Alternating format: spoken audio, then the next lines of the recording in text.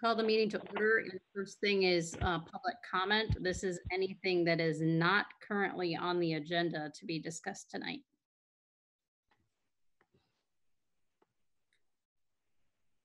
Looks like we have Tamara Morgan. Yes, me. Um, I'm just here to, um, report on the library. Um, they decided, the staff has decided that, um, starting Monday, you'll be able to just go to the library with no appointment necessary. Um, from about uh, Monday is eleven to six, Monday through Thursday, eleven to six. A mask is required, um, and occupancy and time are limited. I know that they're gonna try and limit occupancy to three staff and seven people. Um, but I'm not sure that will be much of a problem. Um, the summer reading program usually has about 90 participants, and this year it has 172. Um, everybody gets a little for six weeks. Everyone gets a weekly bag of reading level appropriate um, book bundle, a craft, an additional reading list. You know, so far the recipients have been um, really excited and glad to get those. Um, and that the renovation of the ADA restroom is going to begin in the next couple of weeks. That's the downstairs restroom. And that's it for me. Great. Anybody else?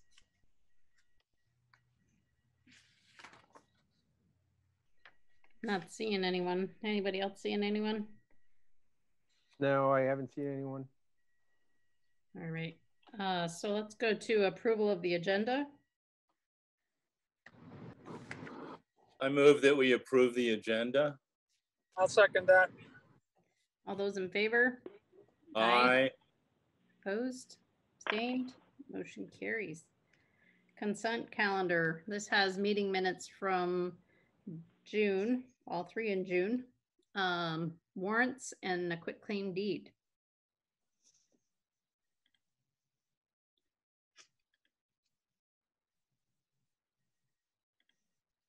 Any discussion? Um, I'll move approval of the minutes for all three meetings. And the warrants and quitclaim deed. Second that. I have a question, Trini. One of those is liquor control meeting. Would we be approving that here? Pat, no, we would not. I may have inadvertently sent uh, the Board of Liquor Control minutes as opposed to the Select Board meeting minutes. Okay,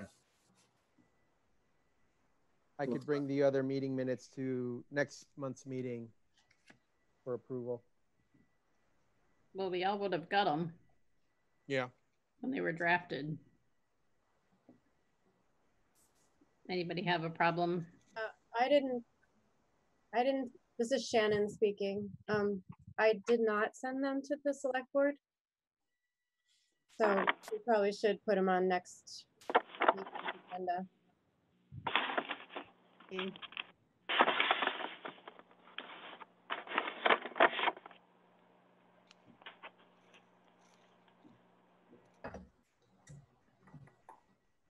Which, um, so which, believe those were, Shannon, correct me if I'm wrong, but I believe those were the minutes for June 24th. Yes. Yeah. Yeah, so the regular, so the Board of Liquor Control minutes were included in the packet instead of the select, the regular meeting minutes, so we'll just put them on the next agenda, the regular meeting minutes. So the twenty-fourth. Do, uh, do we have agreement to amend the motion and second to be approving only the minutes of the 11th and 30th? I, will- I will move uh, as, as amended. I'll second that. Okay, all those in favor? Aye. Aye. Opposed? Abstained? Carries. New business, finance department brief. I believe we have Cliff on. We do. Um, just want to bring you up to date on some of the current things that are going on in my department, some of the things I'm working on. Um, first thing, I'm working on a comprehensive document retention policy for the town. It's gonna define what gets kept and for how long. And what I'm using for a basis of that is, um, all of the Secretary of State requirements. We've got a lot of paper documents downstairs in the vault. And the town clerk has ordered new shelving that should be arriving sometime in September. Um, and so once we have that all in order, I'm working parallel to that to get a, a document retention policy that I can present to the select board um, for their acceptance, and then the- Secretary of State's office has to accept it as well. Um, and then, um, we can move forward with that and just retain, um, documents for X number of years, whatever the, um, policy says, and then destroy them. Um, it'll, it'll solve some of our space crunch issues that we have downstairs with, um, some of the documents going back into the, probably some in, into the nineties and even earlier than that. I'm also working on an update to our delinquent tax policy to clarify some of the, um, salient points in it, um, and make it, make it a little bit clearer what everybody's responsibilities are and what the parameters are. Um, and I plan on, the, the delinquent tax policy that we have also includes the water sewer delinquencies, um, and I'll work on updating that, um, and also put forth some payment agreement templates that can be on the website so our customers and taxpayers can avail themselves of that without having to come to town hall. Um, I'm also reviewing the purchasing policy regarding the threshold for purchase orders. We currently have a five hundred dollar threshold that I'm looking at, um, whether it makes sense to raise that, th- recommend rec- um, raising that threshold to either seven fifty or thousand. Um, it's getting so that some of the prices, um, and costs of routine purchases are exceeding the five hundred dollar threshold, and we're having quite a few purchases in that five hundred to a thousand dollar range, and just need to analyze that a little bit deeper. Um, on the, on the true finance side, um, I've been really happy with the tax collections. Um, they've been better than I projected they would be. The taxpayers have been really responsive. Heard a lot of appreciation for the select board's decision to vote to, temporarily suspend for three months the penalties and interest on both, both sides, the tax side and the utility billing side. Um, on the tax side, we started the delinquent, the delinquency period with somewhere around six hundred thousand dollars of taxes still owed to the town. Um, and we ended the year on June 30, three months later, with only ninety-eight thousand dollars outstanding. I thought that was pretty good for the townspeople to step up and, and make their payments. Um, and as of this morning, um, that number had come down to eighty-nine thousand. We've got, of those amounts, we've got twenty-two payment agreements, um, totaling about thirty-eight thousand. And we've got thirty-two properties on the tax sale list going to the attorney currently. I think, um, a bunch of those will come off as people pay. Um, currently, two of the thirty-two on the tax sale list are paid, and one of the payment agreements is also paid in full. On the water and wastewater side, um, we have the first moratorium period over with. Um, the first moratorium started on April, with the April seventh bills. Um, and we've resumed imposing the late penalty and interest on, on those outstanding balances. And we'll do, um, we'll continue for each subsequent month imposing them as those moratoriums, um, expire.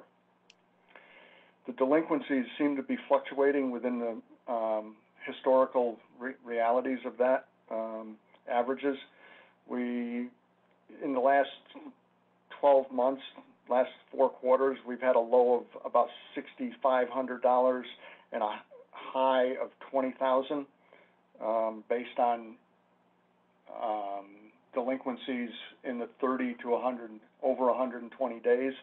And as of today, our delinquencies were about sixteen thousand with thirty-six accounts involved. And I'm following up on those to, um, see if we can, get payment agreements in place and what we need to do to, um, get the customers to start paying.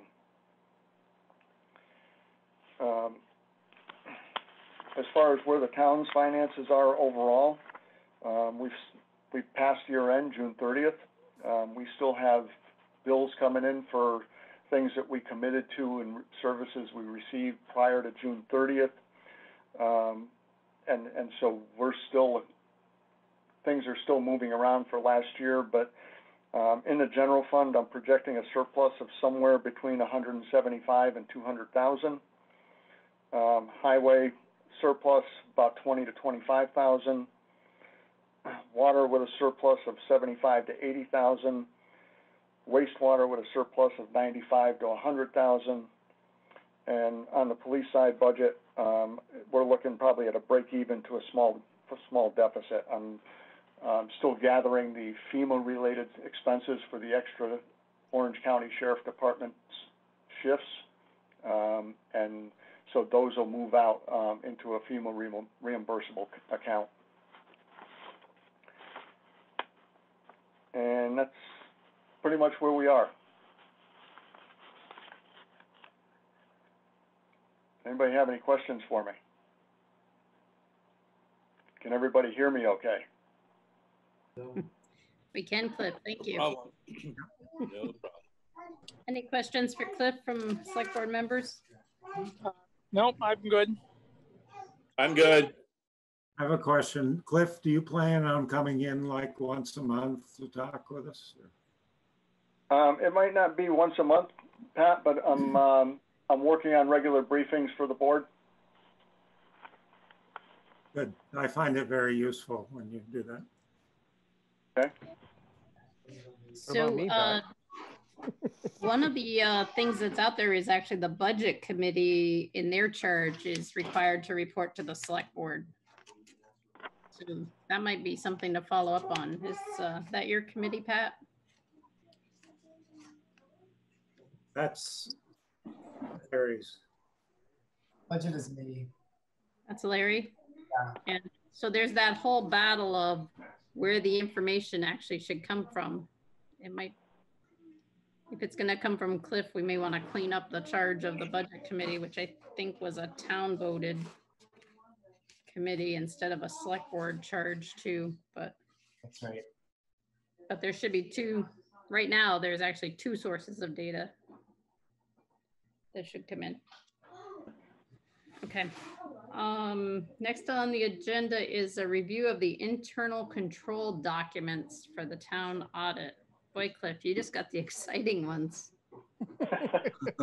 Wow. Uh, get, get out your glasses of water, because these are pretty dry. Um, in, internal controls are a fancy word, uh, fancy phrase for what I like to call asset protection. Um, it, it, it basically comes down to no one person should have access or responsibility for all of the steps in a transaction. So, um, I think we do a pretty good job of what we call a separation of duties so that the treasurer's office, um, actually handles the money, um, and the finance office keeps the records, and we look at, um, we do the bank recs on a monthly basis, and so we have multiple people involved on a regular basis to, uh, make sure that, um, nobody's stealing any money. And, and so the, you know, the whole adage of, um, fraud is kind of like a three-legged school, stool, and the three legs are, um, opportunity, need and rationalization, um, and, and those are the other two, the need and the rationalization. And, and the only thing, you can't do anything about anybody's needs, you can't do anything about the rationalization, but you can deny them the opportunity. And, and I think we do a really good job with that. And so these questionnaires that I'm presenting to you tonight, um, our auditor wants them. Um, I've answered the questions, um, as best I could. Um, our town treasurer has also reviewed them. Um, there's a lot of questions about the things that I just spoke of, like, do you, re- I'm not gonna go read down through them, but do you reconcile the bank and ledger balances monthly? So every month, we get the bank statements, and we look at, um, what our records entail, and make sure that we can, we can get back to what the bank says we have for money in the account. Um, and when we, when we can't reconcile, then we start asking questions. And, you know, most of the time, there's, um, legitimate answers to those questions. Um, and so there's three places to sign on these checklists. Um, I think you've got the scan version, but, um, there's a signature page on page one, another one on page four, and, and another one on page six, up in the right-hand corners of the numbers. And Trini, as chair of the select board, um, it has a spot for you to sign. Nice. And, and these, uh, the questions get at the heart of how we conduct our financial operations and how we account for all of them.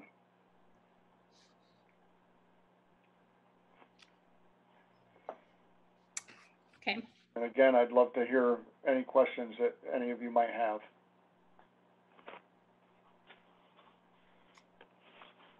Any questions? I did note that you said there was some training on financials by the select board. Yes, I, I know that, I, I don't know, I know Pat attended, uh, um, Pat French attended one of the budget meetings with us in Montpelier. Um, I can't, I don't know about, um, the rest of you.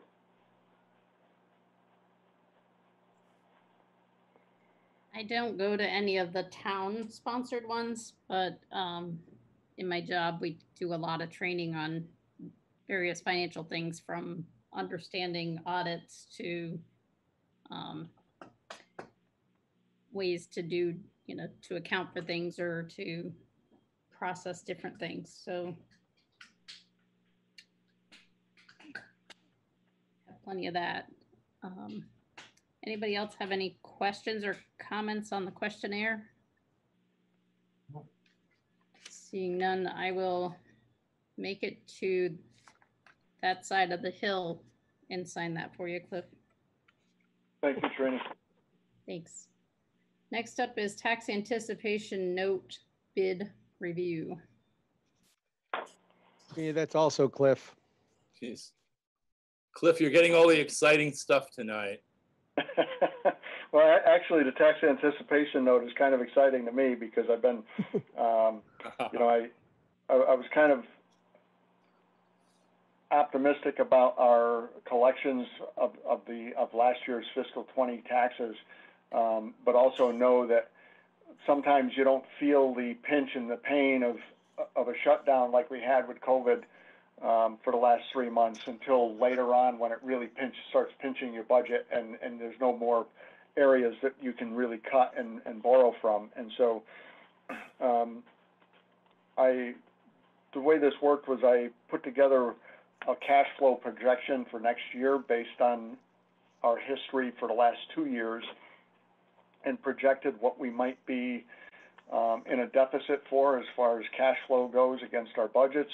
Um, and sent those, and, um, Town Treasurer Joyce Mizuko looked those over um, pretty closely, and we were, we had a consensus on that, and then she put together an RFP that she sent out to six or seven different banks. Um, I think four of the banks responded back with, um, thanks, but no thanks, we're gonna choose not to propose. Um, and, and three banks responded with proposals, and we basically whittled it down to one. Um, and the, the interesting thing is if, if we don't borrow, if we don't have to dip into the borrowing, um, the money sits in an investment account and we actually earn more money than we'll pay. Um, and they call that arbitrage, and so it's 0.1%.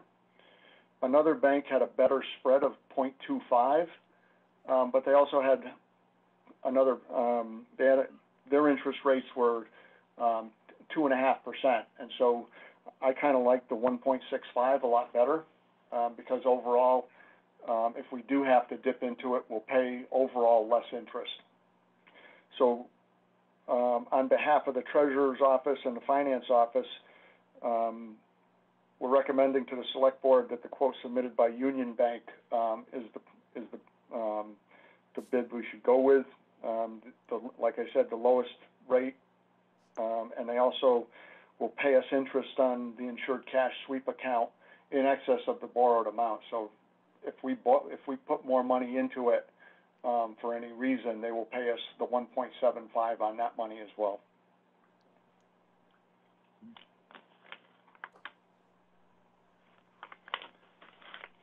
Anybody have any questions? That option one, Cliff? Um, I, I, I'm not sure, what, what, what do you refer to as option one, Pat? Um, I guess this is a proposal from Union Bank. It says option one, option two.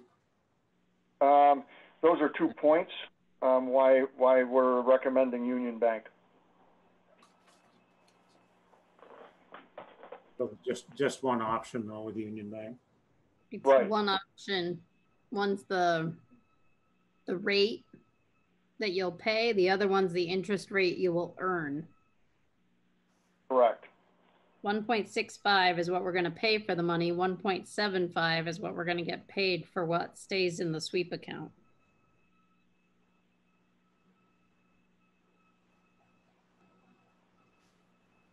Any questions from anybody on board? That's pretty good to me. It's good. You wanna make a motion? I will move that we approve the tax anticipation loan uh, from Union Bank. I'll second. A motion and a second. All those in favor? Aye. Aye. Opposed? Aye. Motion carries. Next up, we have an update on the Economic Development Council by Mary. Hi, everybody. Um, So on the uh, Economic Development Council, I became chair on March 5th. uh, And uh, Peter had stepped down. And then um, in April was when we started encountering the COVID pandemic. So the council had pretty much worked on reactionary mode with the town, with Josh, as well as local uh, organizations and just to help people with with how to get funds, um, any kind of assistance. And so that had gone on uh, through several months. And then, excuse me, we um, finally started coming out where the uh, governor had started lifting some of the restrictions. So I believe it was the June 4th meeting, we started talking about, well, how do we uh, communicate to our community that uh, we're slowly opening up, you know, and get people downtown, but make sure that they realize everything is safe. And so out of that, a small group was formed, um, a small core group to create a uh, guide, and activities or a summer guide. So just yesterday, we released the first one um, with the help of uh, Josh Perry and Valerie Schoolcraft did the did the graphics. And as of date, we have been receiving a lot of positive feedback. Everybody's liking it. And we dispersed it via electronic social media because we have no funds to um, do print because one of the ideas were to put an insert in the Herald and then any remaining uh, guides would then be dispersed among the businesses downtown. So um, right now, what we're going to get together tomorrow morning and talk about what our options are regarding funding. And uh, Josh, I know Josh is on. I don't know if he wanted to give a quick update on that piece of it because he and Perry have been working on that part. Yeah, thanks, Mary. Um, can everybody hear me all right? Yep. Mhm. Yep. Um, yeah, we, uh, well, when we did start this project, we assumed that there would be funding made available um, through the legislature, um, based on conversations with uh, staff at ACCD um, and representatives of our region, um, that funding was eliminated at, at the 11th hour, unfortunately. Um, so now there might be some opportunity to secure some of that funding. There was two and a half million dollars that went to the Department of Marketing and Tourism. And um, I was told yesterday that they still have not decided how that money is going to be entirely spent. Um, so there might be an opportunity to secure some of that. Um, but otherwise, we will have to fundraise um, um, and, and, and maybe secure some uh, funding from the town if there is um, any that's available.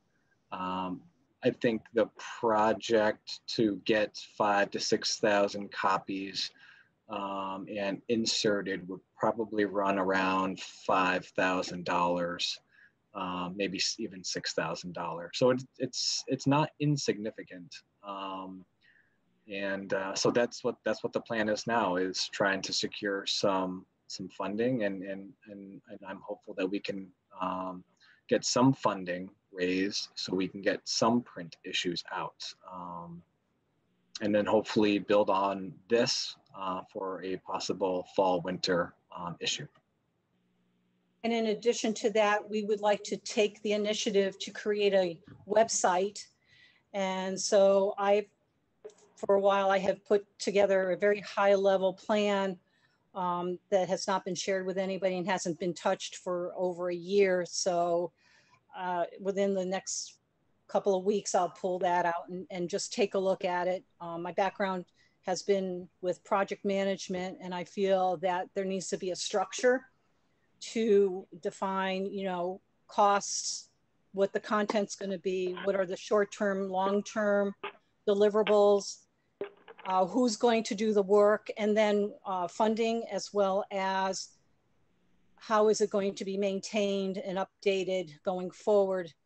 Um, so th those are some of our thoughts. Plus, there are some initiatives as well. With uh, we had our R3 chairs meeting the other day with Pat Moulton, and it has been decided uh, that we will uh, roll the Randolph, the R3 um, economic development slash tourism piece that was headed by Peter Reed, Damian uh, DiNicola, and Jay Hooper into the Economic Development Council. So that will start with our next meeting in August. And the council also had three vacancies and I've been able to recruit and fill those vacancies that I have submitted for consideration by the select board. And those are uh, Damian DiNicola, who was co-chair on the R3 Economic Development Task Force for R3, Bethany Silloway, and Megan Harvey, who have been um, very active here in town on various events and other organizations. And they all agreed that uh, they would like to be considered and be part of the Economic Council. Do you have any questions? Yeah, uh, Tom, Tom Ayers here. Uh, first of all, I'm really heartened to hear what you just said at the end there, uh, Mary. Um, uh, those are three people who have contributed a great deal. Uh, and and, and it, it, suggests a consolidation of all the efforts rather than all these different groups doing things piecemeal. So I'm really happy to hear that. Mm-hmm. I just want to make a suggestion, and I, I, I, made this same suggestion to Gary Durr of the R3 uh, group when I chatted with him at our Rotary meeting this afternoon. Um, I think a really economical way of getting the document that Perry and Valerie Schoolcraft and the Economic Development Council have put together um, out in the Herald might be to explore actually printing it through the same uh, web-based press uh, printer that the Herald uses to print the newspaper. Um, rather than printing it at a job printer around here, actually printing it in um, basically in synchronicity with the printing of the Herald in a given week uh, and inserting it there might, and, I- and I offered to actually reach out to Tim Calabro and explore that option on behalf of the Economic Development uh, Council. Um, uh, it's, it would be a similar size publication to the TV guide that comes in Sunday newspapers. And Valerie might have to tweak the design a little bit to make it fit in that format. And it would be printed on newsprint or white newsprint, similar to a- an advertising supplement.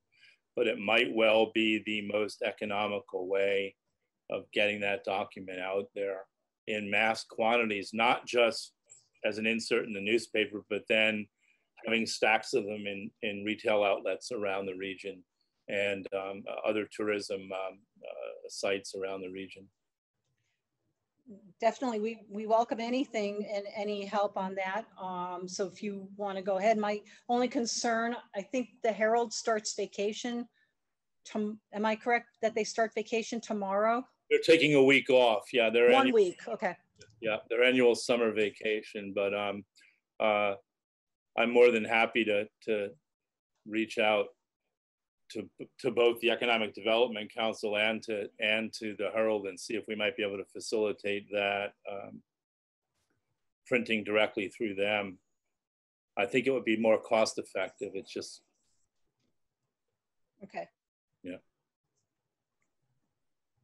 Yeah, we are having a meeting tomorrow to discuss, um, uh, tomorrow morning to discuss printing, um, and try to get a better handle on all of the numbers. We've received several quotes from printers, but, um, printing directly, um, by their printer was, I don't, I don't believe we got a quote, um, from that, so. I don't recall. We recall. recently switched printers, as many of you may know, which is why the format of the size of the paper changed. But they print with a large web-based printer in New Hampshire somewhere that does a lot of the regional newspaper printing, including for the Valley News. And uh, I'm going to guess, based, I mean, based on my ex- career experience as a publications manager, which is what I've done for much of my career, I think we might be able to get, um, I don't want to take business away from our local printers, but we could get a much more, uh, uh, you know, economies of scale, economical um, publication by going with the same printer that the Herald uses. And it should make it easier too, keeping it in-house where they do both that insert that they could put in the newspaper versus having to go to a local printer, pick up the finished product, to bring it over to the Herald. Yeah, and hand insert it. It just, Yeah, if you look at the supplements that come in the Herald every week, uh, the Max Supermarket flyer, the Kinney Drugs flyer, all those things are inserted by machine, as best I understand it, at the web-based printer. So whereas if we sent it from another printer around here to New Hampshire to be inserted, it would be a hand-inserted process. Well, that makes sense. It keeps it, it keeps it more straightforward because I didn't realize that the Max insert and Ace, I don't know if Ace Hardware's uh, insert is done that way. Um, so, you know, Yeah. I don't I- see a problem with us taking that approach. I'm happy to look into it. It might delay us a week or two, but um, uh, given the given the fact that um, that the Herald is taking their annual summer vacation for a week, but um, I'm more than happy on behalf of the uh, of the council and the town to to reach out and explore that possibility um, with Tim. Great, that sounds great, Tom. I Yeah. think um, at the select board level, we've got what we need. Um, If you guys can do that, I think the one action item I heard there was whether the select board wants to take action to appoint uh, Damian, Megan, and Bethany to the Economic Development Council tonight.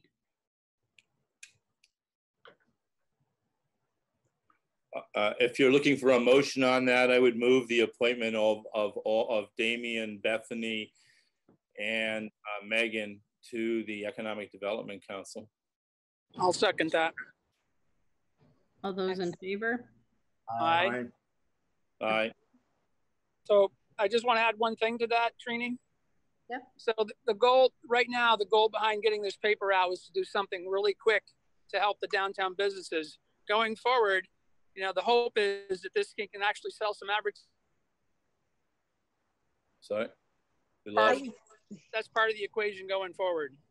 You- He's talking about some advertising because we, with the responses from um, this most recent release, uh, we have had people reach out and even when I talked to them on the phone prior to the release, how uh, they can contribute or fund it. Um, so we started thinking that uh, possibly putting, uh, you know, having them pay for some advertising. And then the other thing we need is start thinking about expanding this guide to the services out on Main Street, like the barber shops and other services that are here.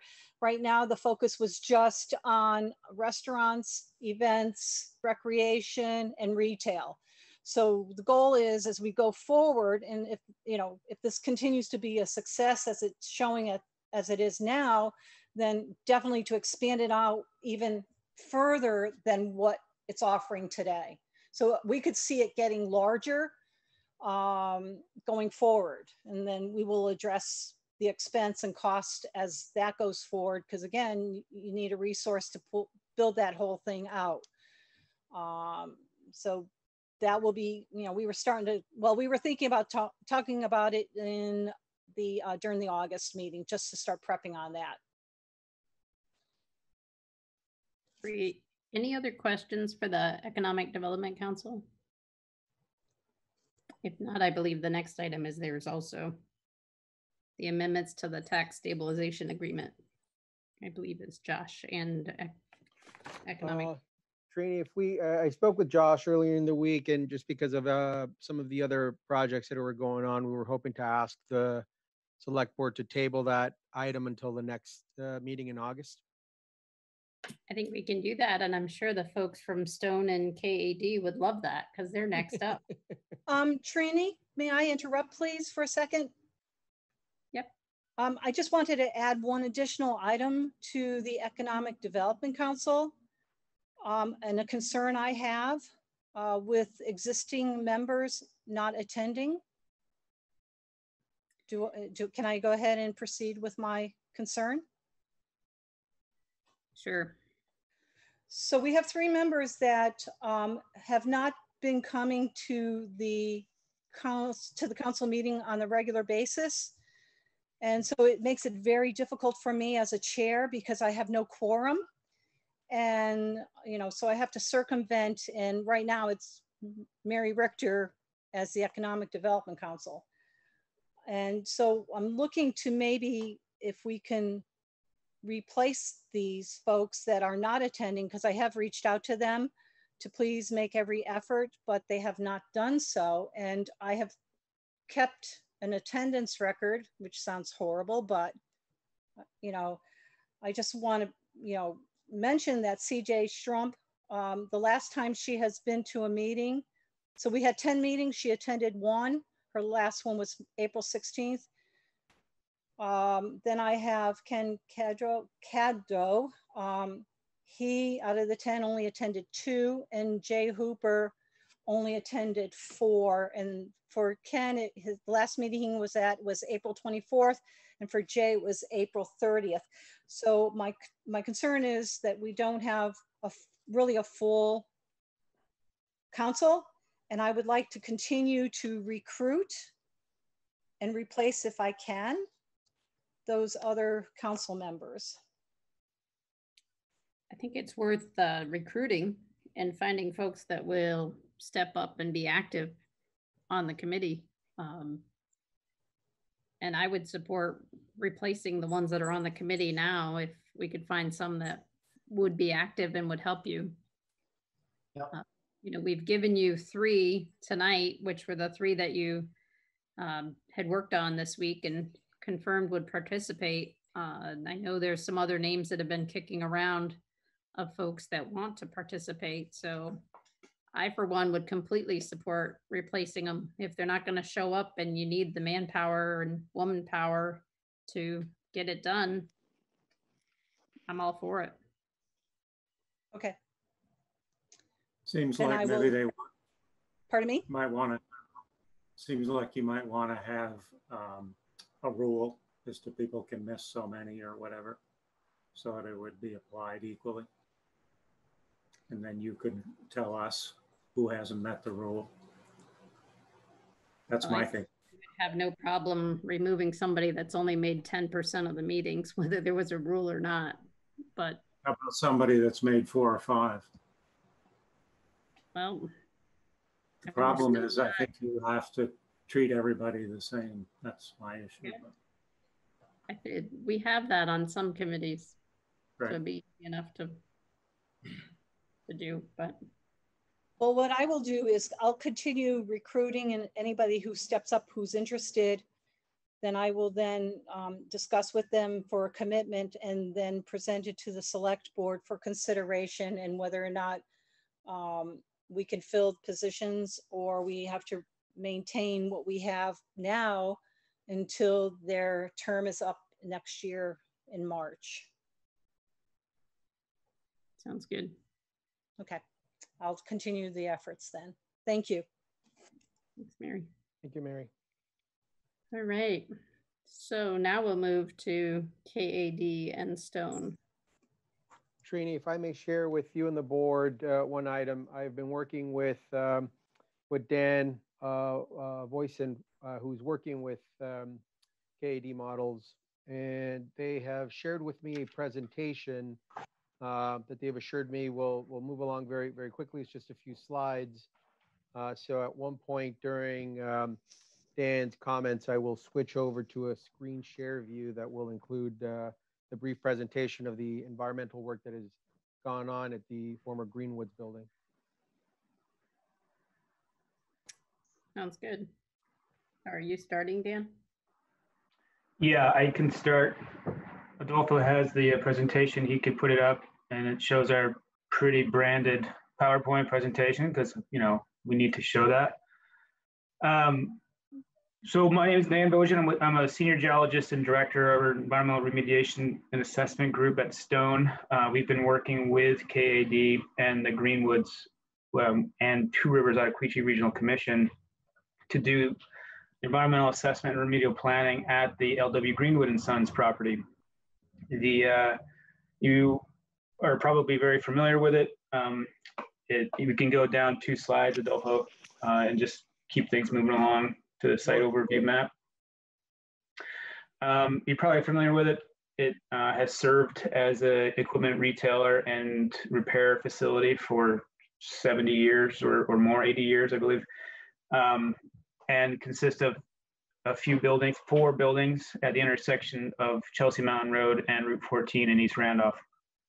Uh, our work began, uh, actually, next slide, Adolfo. Um, the uh, the KAD came in came to to Ron Greenwood and, and his his his family to to purchase the property earlier last year, um, and completed uh, with the intention to moving a branch office of his business KAD Models and Prototyping to um, to the area from the Bay Area, and um, to open up a division. Um, Brian Kippen, the CEO of KAD, is a, a Vermont native uh, and looking to come back to Roost and eventually have East Coast, West Coast um, uh, operations of his business. He can explain more about that later should, should you want to test him on that. Um, but it is a, a, classic brownfield success in the making. Uh, we have a you know manufacturing business, high end um, advanced manufacturing, doing CNC programming, et cetera, um, coming into to a, a, property that is currently vacant and hasn't been vacant for about two years. Uh, they intend to hire a general manager, some uh, CNC programmers, and eventually grow their staff in East Randolph to 10 to 15 employees. Uh, they are already investing in in the in the renovations of the building. They're a tenant um, with the Greenwoods currently. Uh, the intention is to buy it, uh, have an, an, LLC purchase the property, and then rent it to KAD Inc. Um, but investing into the, both equipment, the renovations of the building, and in personnel. You go next slide. So our involvement started last August. As I mentioned, uh, we did what's called a phase one environmental site assessment of the property uh, for due diligence purposes, naming the users being uh, KAD of that report. Uh, and that process identifies what environmental conditions could exist at the property that could be in, indicative of an issue.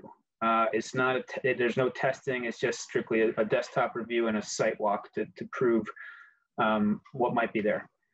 So we identified that this place has done uh, machine maintenance in it for a very long time. And due to the nature of that work and the fact that there are some mechanisms, some physical attributes of the site, there could be releases of various contaminants to the subsurface. Uh, you can envision a, any uh, any shop like this that they use oils, they have solvents, etc., fuels, and that kind of thing that might be dribs and drabs here and there, um, and and not a not nefarious in their in their actions, but in their summation result in conditions that are not great for all uses, all future uses of the site. So that was our conclusion based on the phase one. We quickly moved into the phase two, which is where you actually do go out and test uh, soil and, and, and other things for, for contaminants. This is a picture of the drilling that was conducted at the site. Uh, we did soil and groundwater assessment out there. We did sampling of what's called subslab soil gas, which is the interstitial air between soil particles in soil below the slab of the building to see whether or not there might be a, a release below the building. Uh, and we did find some contamination and we can get into that. Um, then we did what's called an ECA, or evaluation of corrective action alternatives. It's a, it's a term that within our within the process of going through managing environment uh, hazardous sites, um, we, uh, it is where we get to consider different options for cleaning up a site for its intended use. So in that process, we did a little bit of addition, uh, soil gas delineation, some further, you know, to bind problems, that kind of thing. Um, and we also were concerned whether or not the slab itself contained volatile organic compounds, uh, the solvents, the gasoline or the diesel fuels or whatever, that might in itself provide a source that would impact indoor air quality. So uh, that was one of the, the targets of the, the ECA. Um, and then we did some testing to see, you know, how we can go about actually fixing it. So some physical tests to design a system that might be appropriate for the site. Next slide. And so what we found, um, we had soil gas contamination below the buildings uh, for three of the four buildings. Um, and they were essentially uh, one of the buildings was of focus. The building, what we call Building One, which is the main, uh, the, main LW Greenwood building, where they did the the the retail sales of parts. They had their offices. They had uh, the, and their main garage. That's the Building One. Um, there was small um, uh, concentrations or low concentrations in two of the other, uh, two of the three, uh, the four other buildings um, and but not above standards that would be appropriate for a, a, non-residential use. So you know we have in Vermont we compare first to residential use across the board, and then we will consider non-residential uses, commercial or industrial uses, based on the land use of the site. Um, so this one is clearly not a residential setting uh, within the property itself. Um, so we were we default to the industrial standard. So of the four buildings, one had uh, uh, concentrations in soil gas that had to be addressed, and that was primarily chlorinated solvent known as, as tetrachloroethene or PCE. It's also known as PERC, dry cleaning solvent. It's very common in automotive solvents. Uh, you can go to any auto parts store today and pick up PERC containing carb cleaner. Um, we also found that it was in the concrete and it was potentially off gassing into the building. But the other things that we assessed, the groundwater, et cetera, the, uh, the, soil did not contain issues. So we were really happy to see that the, the problem was very limited to soil gas below this one building at the site. Next slide. So uh, why we're concerned, this is a vapor, this is just a cartoon of what vapor intrusion is. Um, basically, we're concerned with the vapors coming into the building from, from below it. They use preferential pathways to get in, some you know cracks or conduits or other sorts of things, preparations that go through the slab.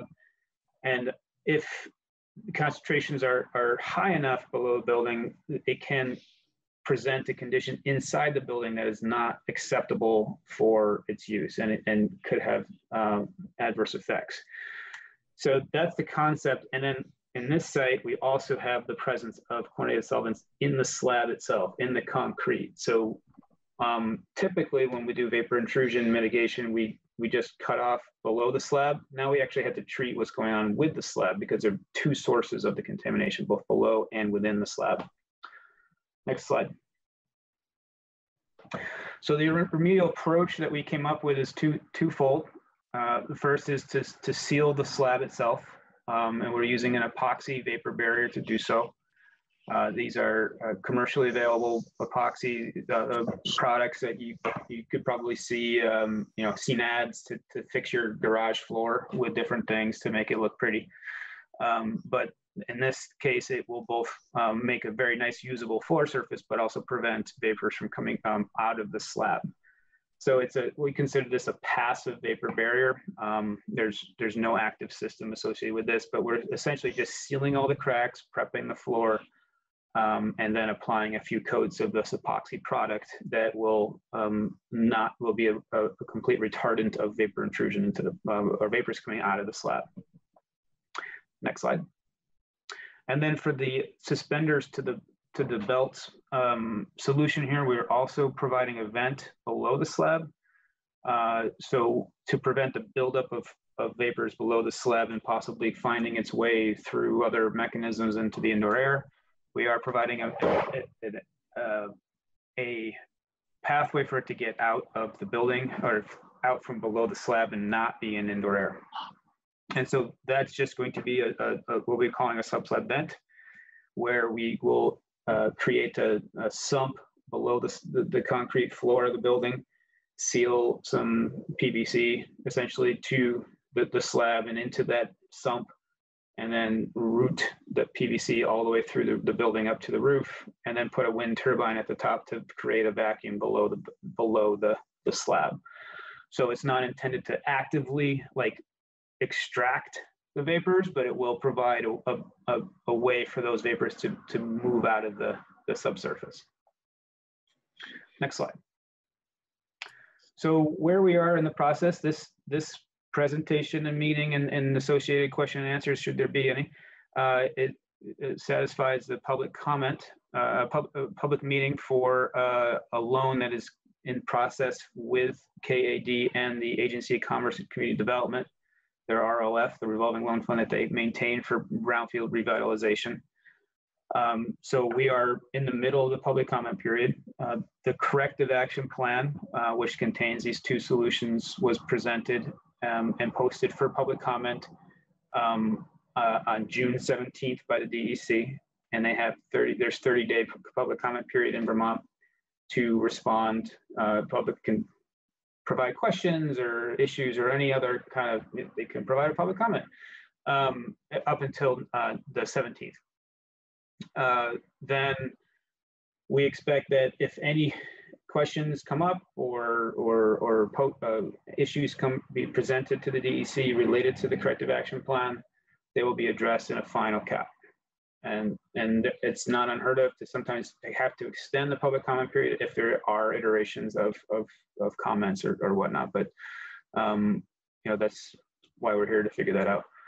So at after the fi- the CAP is signed sealed and delivered um, the, the the KAD uh, will purchase the property. It will be transferred and then they will be granted the loan to complete the remedy and the owners of the site. The remedy is it should take no more than a week, and uh, you know we're expecting that to occur in late August. The the next step after that is that there are some documentation steps that we need to complete as builds, et cetera, that we call a corrective action construction completion report, and the acronym down at the bottom of the table in front of you. Um, and so we can make sure that everything is working correctly, that the, the owner, KAD, knows how to maintain and, and, and document and report its condition to the state, uh, et cetera. So that, that process gets, gets finalized. And then what's drafted is known as a certificate of completion or a COC. And that effectively closes the site for, um, for the existing conditions of the, of the site. Um, that, I guess in a sense, transfers liability for the past problems to state. So it removes any liability to, from KAD. Um, so that process should take about 30 days after we have the, the, the corrective action report. Um, and we're expecting that to occur in October. And then along the way, KAD will be doing their upfit and, uh, you know, off to the races. And I think we're at the questions slide. We are. So we'll happily maintain, uh, you know, entertain any questions. Uh, we have Linda Preventure as well on the meeting. And Linda is our uh, site manager with the DEC. Uh, we have Casey and, and Brian from KAD and Sarah Raitt uh, uh, from Two Rivers Ottauquechee, who is the, uh, the, the Brownfields coordinator for the Regional Planning Commission. So we're happy to talk about any questions you might have. Great. Any questions from board members? Not from I, me. I have a question, Trini. What, Dan, what causes the pollution in the cement slab? Is that something that was there originally or is it from stuff being on the surface? Yeah, so the, the, you can en- envision, you know, within like a typical maintenance job of a, of a truck coming in or a tractor or whatever that the LW Greenwood was working on, they might be doing brake work or whatever, and they're spraying solvent on the rotors or the discs or whatever is there, or cleaning parts. And there'd be drips and drabs off of that process onto the slab. And so that, um, you know, those small things over time will, will amount to a condition that will be um, problematic. In the building itself, there, there was um, a floor drain, a trench drain that daylighted to a, a um, had a, its outfall was actually it, it didn't go into a, a, dry well. It went it just went outside, and that was closed I think fairly early after they started using it. Um, but it, that was also what our thought was what, why we have stuff below the slab is that you have these products and and you know snow melt coming off the, the trucks that are being worked on and that kind of thing that would carry the solvents through the cracks in the concrete or maybe cracks within the floor drain itself to the subsurface. And so it, it it's it's not a naturally occurring product, um, and it's it really is a function of this 80 years of of maintenance type um, issues. And these and these products are very very common across sites that are very similar. You know, if you go to most automotive garages that were operating in the 60s and 70s they probably had PERC in their in their um, in their you know parts washers or their or on the shelf. Thank you. Any other questions from board members? Seeing none any questions from the public? Uh, yes this is john pimentel from East Randolph. Um, I'm curious as to where the postings for public comment have been placed within the town. Sure. So uh, as part of the process, we sent out letters to all the abutters with, with specific directions. There's also what's called the Environmental Notice Bulletin, uh, which is a, a state um, maintained uh, database clear, you know, a, a, posting of all of these bulletins, the Act 250 permits or wastewater permits, they all are posted there, but you can find it there. If you want a copy of the CAP directly, we could certainly take down your contact information and just send it to you. Okay, thank you. Any other comments? Not seeing any hands or flags. Uh, Dan, just to confirm, there's no action required by the select board, correct? Nope. Is that correct, Linda? I'm pretty sure we got, there's no, yeah, there's no approval or that. That's correct. Um, yeah, this is just part of uh, um, part of the requirements just to uh, inform people on, uh, on what's being planned.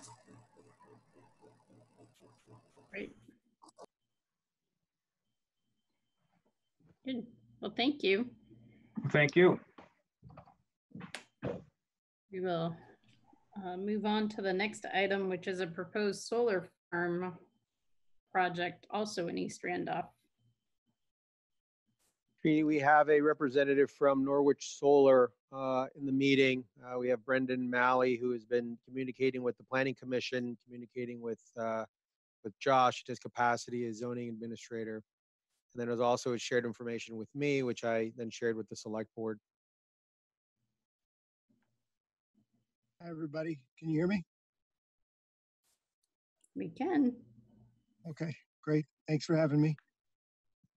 Um, so the purpose of uh, being on the agenda tonight, and I introduced this uh, topic uh, several meetings ago, is um, uh, to acquire the select board's signature on a letter um, designating, this is a preliminary step, designating this site as a preferred site for solar with the town. Um, Planning Commission uh, was the first stop, then the Select Board, and then uh, the Regional Planning Commission.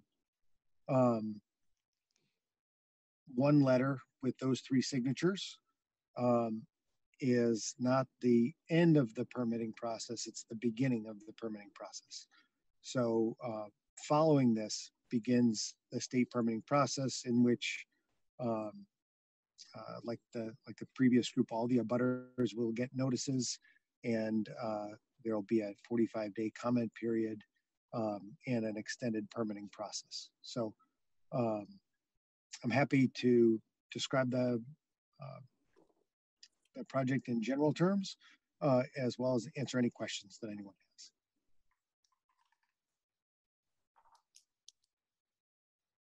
Sounds good. Okay. So um, it's a uh, what's called a, a 500 kilowatt net metered uh, community solar array. Uh, so it's uh, of a size that's common in Vermont. Um, it's connected to the local distribution grid through Green Mountain Power. Um, all of the benefits of the array um, stay local uh, here in Vermont. It's not uh, connected to um, anything that goes out of state. All the environmental benefits stay here as well as uh, what the array produces. Um, it's going to be located on uh, the Giffords property, just off on the on the west side of 14, and um, it takes up uh, somewhere between three and four acres of, uh, of space on the property. Um, and we've been working with the neighbors to adjust the location um, to accommodate the neighbors' concerns. And again, I'd be happy to take any particular questions, or I can be my pleasure to continue to talk about solar for a long time. So, uh, Brendan, I don't know if um, you were on when I was a little late starting, but I had mentioned that I was getting a phone call from somebody that was on the agenda, and it was the the neighboring property owners. And my concern was that the documents that were submitted to us for the project to approve were not what I understood was taking place with the abutting landowners. And so what the board has before them tonight is a March plan. And my understanding is that is not what is actually supposed to be before us to approve. So um, the board is not approving any plan at all. In fact, uh, what are circulated are, are kind of general uh, area designations or concepts. So all the board is indicating is that this property, the parcel, is a preferred site for solar. Um, the specific location of the specific equipment associated with the array will continue to uh,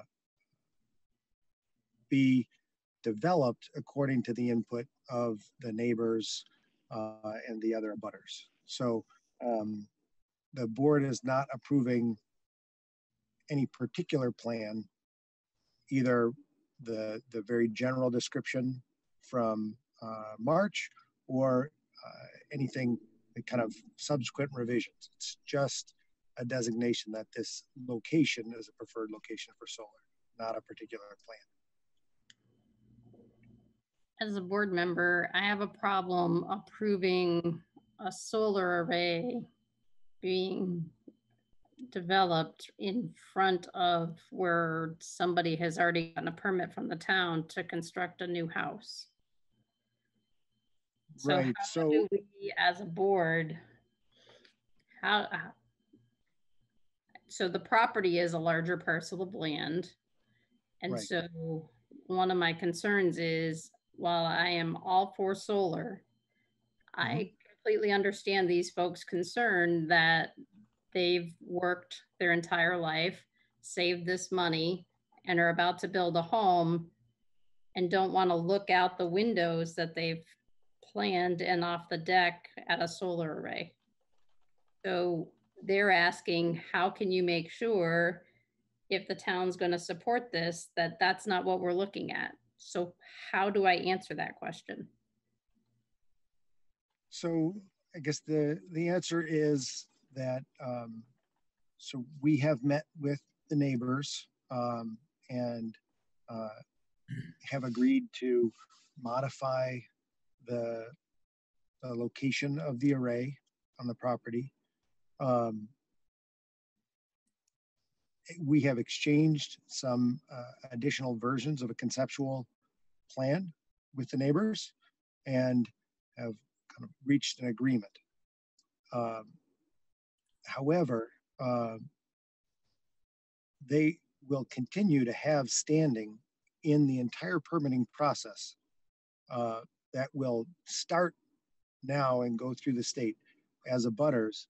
They will uh, they will have standing in that process. Um, so nothing that happens with the preferred siting will um, uh, kind of remove their standing in the in the permitting process. So So as a town, we have zoning and we had to amend our zoning, right, to talk about uh, preferred locations for solar. So what you're telling me right now is the only authority the town has is to pick a parcel. We can't choose where it's, we have no say in where it's located. I mean, we even have a say in where a house is located when somebody builds a home on property, or if you're, you know, anything you're doing on your property goes through some type of public review at the town level. And we say yay, yay or nay, it meets our, you know, town plan, our zoning or whatever. So what you're asking us to do is just say, yep, anywhere on this parcel is okay with us to put solar. But yet we know we have this very valid concern from somebody who is in a butter. right. So and we have uh, uh, an agreement with that abutter to um, to adjust the location of the the specific location of the array to address their concerns. So what Um, happens if the town's letter says we will support it as long as it matches this agreement that is with the abutter? So um, I don't know the answer to the question. Um, essentially, uh, if we went back several years, the addition of this step, this preferred siting step that uh, was added to the state permitting process was intended to kind of explicitly include um, the planning commission and the select board and the regional planning commission in this process. And so this is, we're kind of following uh, uh, that um, that opportunity that was provided about four years ago. Um, and uh, and so I guess I'm trying to I don't know what is possibly, what is a specific location of the array is not being authorized by the town. The town is not approving of a solar array at this juncture. All that's being done is saying that this, it's possible to pursue the siting of a solar array on, on this property. So, um, so the so town is not in the, in the position of a, right now of, you are not signing off on the location of a solar array. Just the beginning of the attempt to permit a solar array. What happens if our letter says we're fine with a solar array being on this parcel as long as it's not in the view shed of this already permitted project? Um, I guess I'm not sure. I don't, I don't know the answer. I've never encountered that before, that type of, uh, condition. I'm, I'm sure we could look into it. Um, but, uh, You understand the The- concern? I, so, right, I, I do understand the concern, and in fact, that's the concern that um, we've worked with the neighbors to address, and that is the concern that will continue to be addressed in the permitting process that we're about to start. So, for instance, uh, as part of the state permitting process, there's an aesthetic assessment. Um, the all of the abutters have standing in the process, including uh, the neighbors with, with this concern.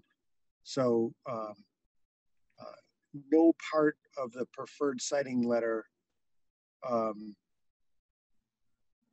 uh, eliminates any of that standing. All of that work has yet to be done. The, the aesthetic analysis and, um, and the, and the neighbors uh, standing in the process uh, continues.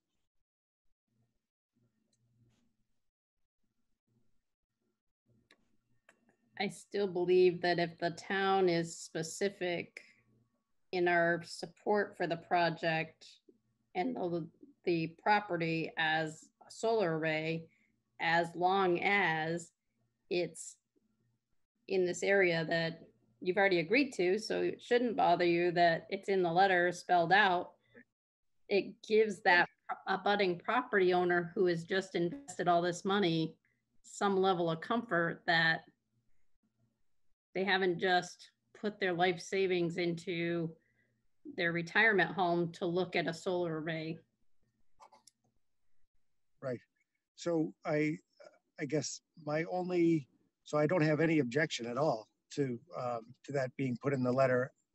I don't, un, what I can't tell you is the consequence of it because, um, uh, it's, um, I, I wouldn't know how to necessarily articulate it in, um, in some terms that would be actionable.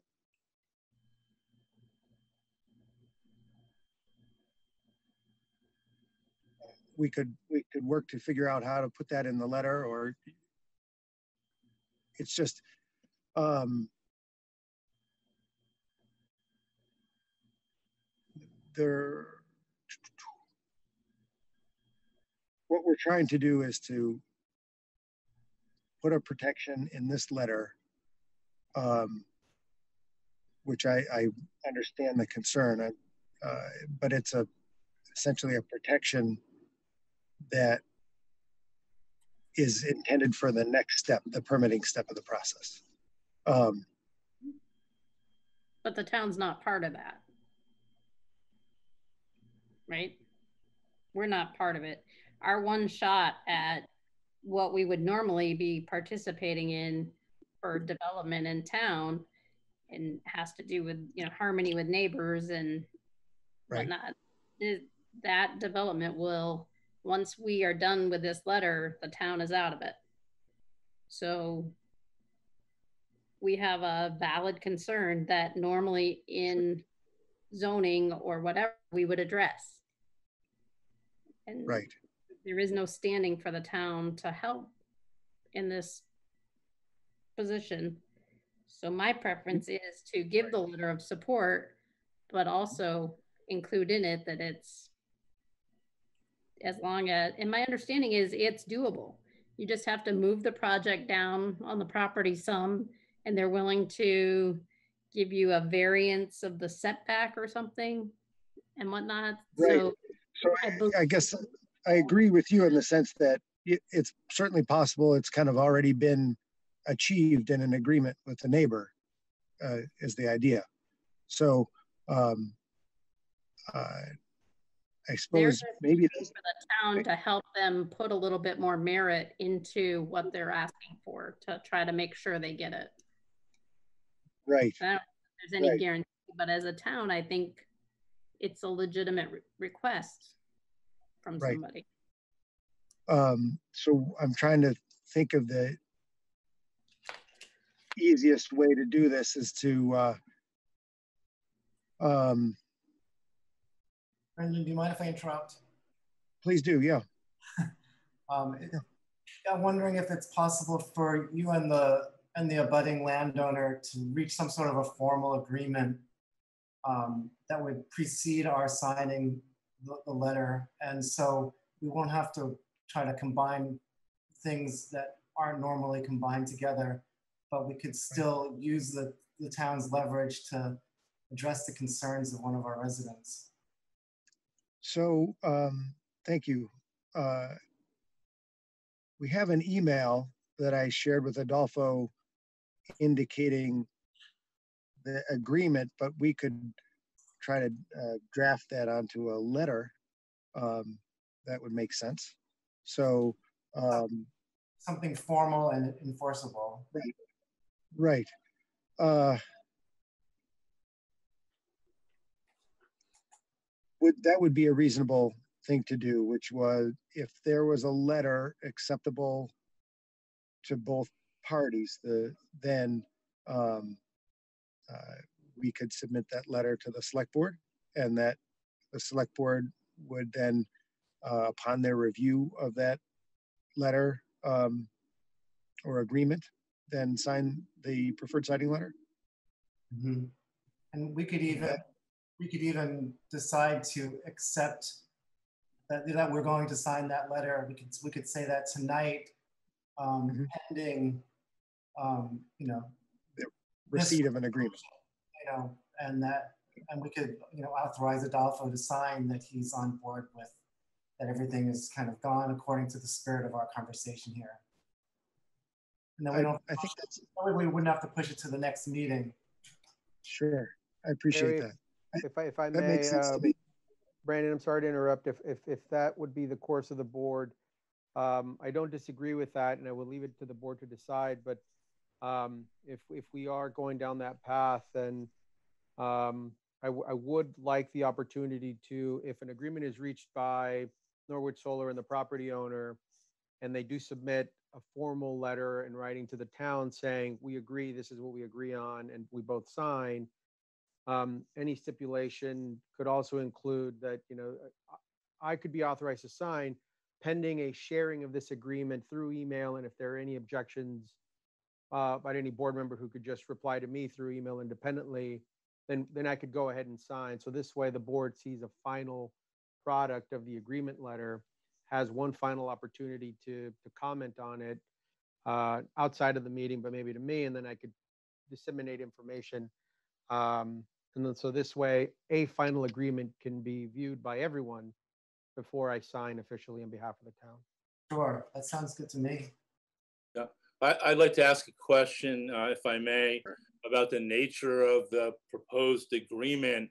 Um, uh, Does it relate to some kind of uh, buffering, whether it be trees or landscaping or whatever, that would mitigate the concerns of the property owner about the visual impact of the solar project on their property?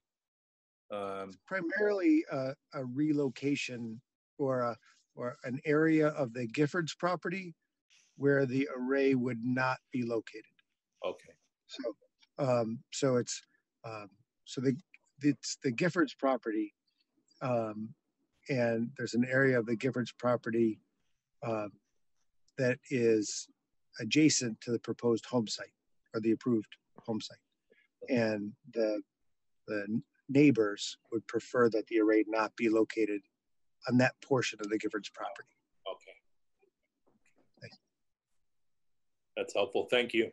The Way the topography is, Tom, they would, the way their permit is for their home, they would look right out and see a solar array Right. right Okay. off their front porch. I get why they're upset. Oh, I do too. I do too. Um, I'm I'm a, I'm an ardent supporter of solar, but I also under and, and of wind, but I understand the the, the dynamics of people's concern, uh, particularly in terms of sight lines about both those um, both Wouldn't it- energy sources. So I, I I get it. a- There's a resolution to this one, too. Right. You know, they're just saying, how do we make sure that they follow through with it? Right. Because they're asking for board approval tonight, and all there is is some emails that have gone back and forth. So I get it. Mm-hmm. I get it too. I, I appreciate it and I, I appreciate the suggestion of the, of the signed agreement and I think that makes a lot of sense. Could I make some comments, Trini? Sure, Pat. Um, I think my concern is with the, my biggest concern is with the process, because I too am a big supporter of solar. But I sat in the planning, watched the planning commission when they talked about the subject over and over and couldn't, couldn't decide what preferred sites were, as I remember from their point of view. So that leaves this option which you have to have the approval of three different groups. Um, so now every solar siting is going to have to come through to us and go through us. It seems like if that's the case, we'd have to have some criteria to judge why this is or isn't a preferred site. And it also seems like we'd want to have a hearing for public input because we don't know everything. There are a lot of things we don't know as we've already found out that somebody's building a house near there. And the, the third thing that I'd want to know is what's Two Rivers going, what's their answer going to be? Because I'd like to know their thinking on it. And my understanding is all three groups have to say yes. The planning commission has said yes. Did they have any criteria that they judged it by? I want to use, I want to use the same criteria for each site proposal. And I'm not saying it's bad. I think we've got into a bad process here. So I can speak to that a little bit. So, as many of you know, the Planning Commission spent probably close to a year discussing the siting of solar. And I believe we even had a so-called, I guess, an expert in this process who came and made the presentation to the Planning Commission. And numerous people had reviewed the current um, criteria that we developed, and it was critiqued by a lot of people. So that criteria is what we, the Planning Commission, um, went ahead with in this process. So we have a process, and it's not perfect, but it was what was agreed upon by the majority of the people who attended these meetings uh, that the Planning Commission held. So that's where we're at, and this is why you know it's got to come before the select board and it's got to go before Two Rivers because you need to address these kind of things because we couldn't do that in the planning commission level because of the amount of input that was coming back and forth, and so we came up with the compromise, and so this is where the compromise sits. So you actually do have criteria from your earlier work then? There is, there is, it's in, you know, the select board passed it. It's in the zoning document.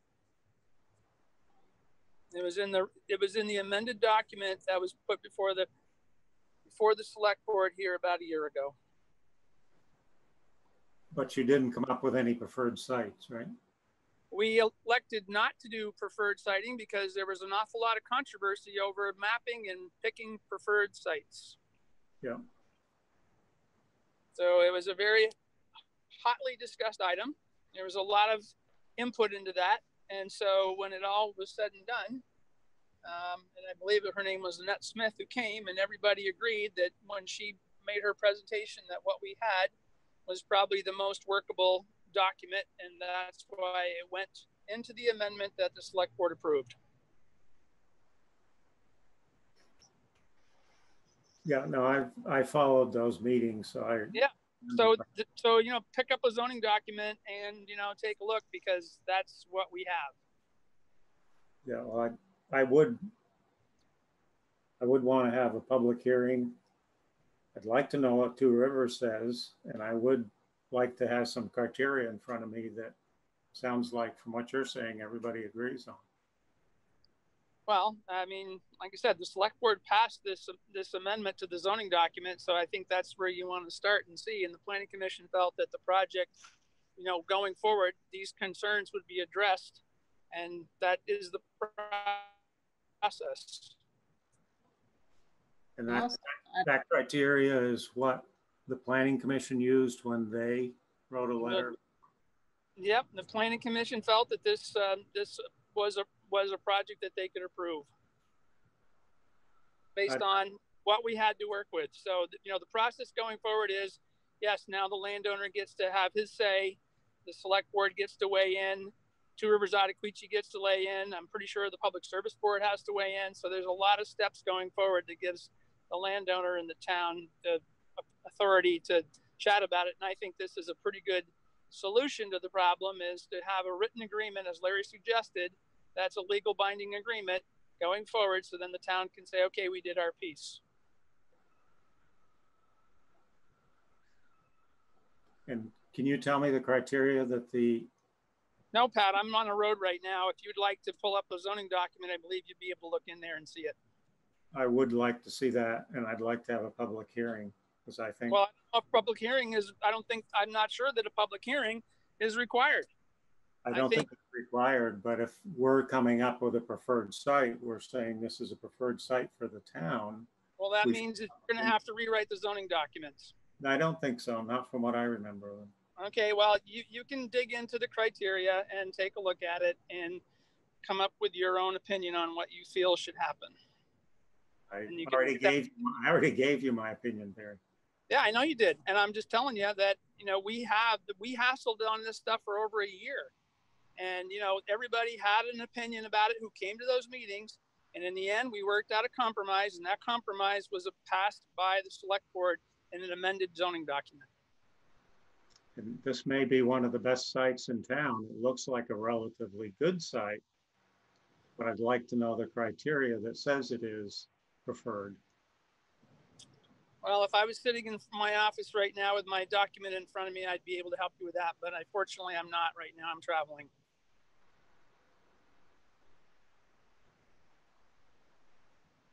So Pat, help me understand what happens if our planning commission has a public hearing on this and they come to the conclusion that this is a good site. And then the select board sits down with the exact same criteria. We have a public hearing on it and we decide it's not a good site. How do we reconcile those two? I think somebody should have the hearing. I'm not saying. The planning commission had the hearing, if I'm. We had hearings. If, if I may add some more information, um, one of the reasons why the project, this particular project was delayed uh, to make it to the select board agenda was uh, because initially the project had been reviewed by the planning commission um, and not included in the agenda. So what the town recommended to the planning commission was that this project be revisited by the planning commission to give it an opportunity to post it on the agenda, promoted it uh, throughout the town as we should promote it throughout the town. And so we, we've taken the steps to become very transparent by posting this very specific project on the agenda, sharing it as we normally do, so that the community has had uh, the opportunity to, to see that the planning commission was meeting, know that they could attend the meeting, uh, and the information was out there. So that's why we took that extra step to ensure that this wasn't a project that was just approved through an amended agenda, but one that was reviewed and approved by the planning commission after having fully been warned on the agenda. Oh, I'm glad of that.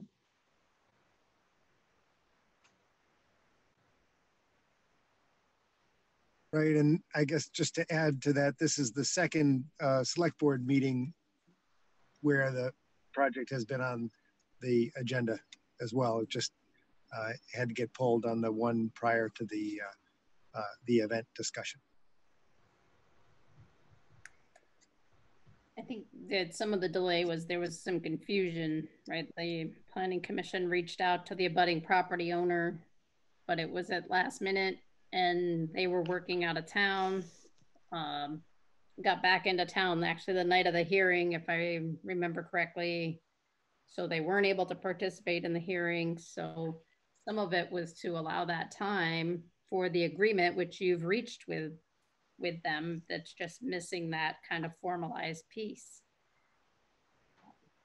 So, and I think that's a great idea. I'm happy to um, receive it and act upon it and, and provide it back to the town.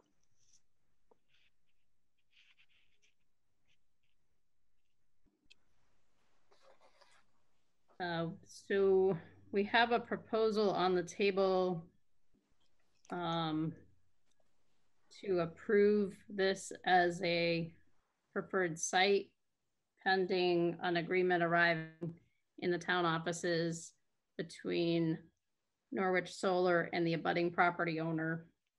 Um, seems like a reasonable compromise to me. Is there anybody that would like to make a motion to that effect? I will make that motion. Is there room for the public to speak? After we get to a second on that motion, then we can discuss it. I'll second the motion. Okay. Um, I believe Jerry had a comment. Yeah, thanks. Um, I've been listening hard and I'm really not hearing the reason why the select board is hearing this or what their purview is here. I'll tell you my understanding of the way the system is supposed to work is that towns have the right, if not the duty, to put into their town plan what are refer- preferred sites.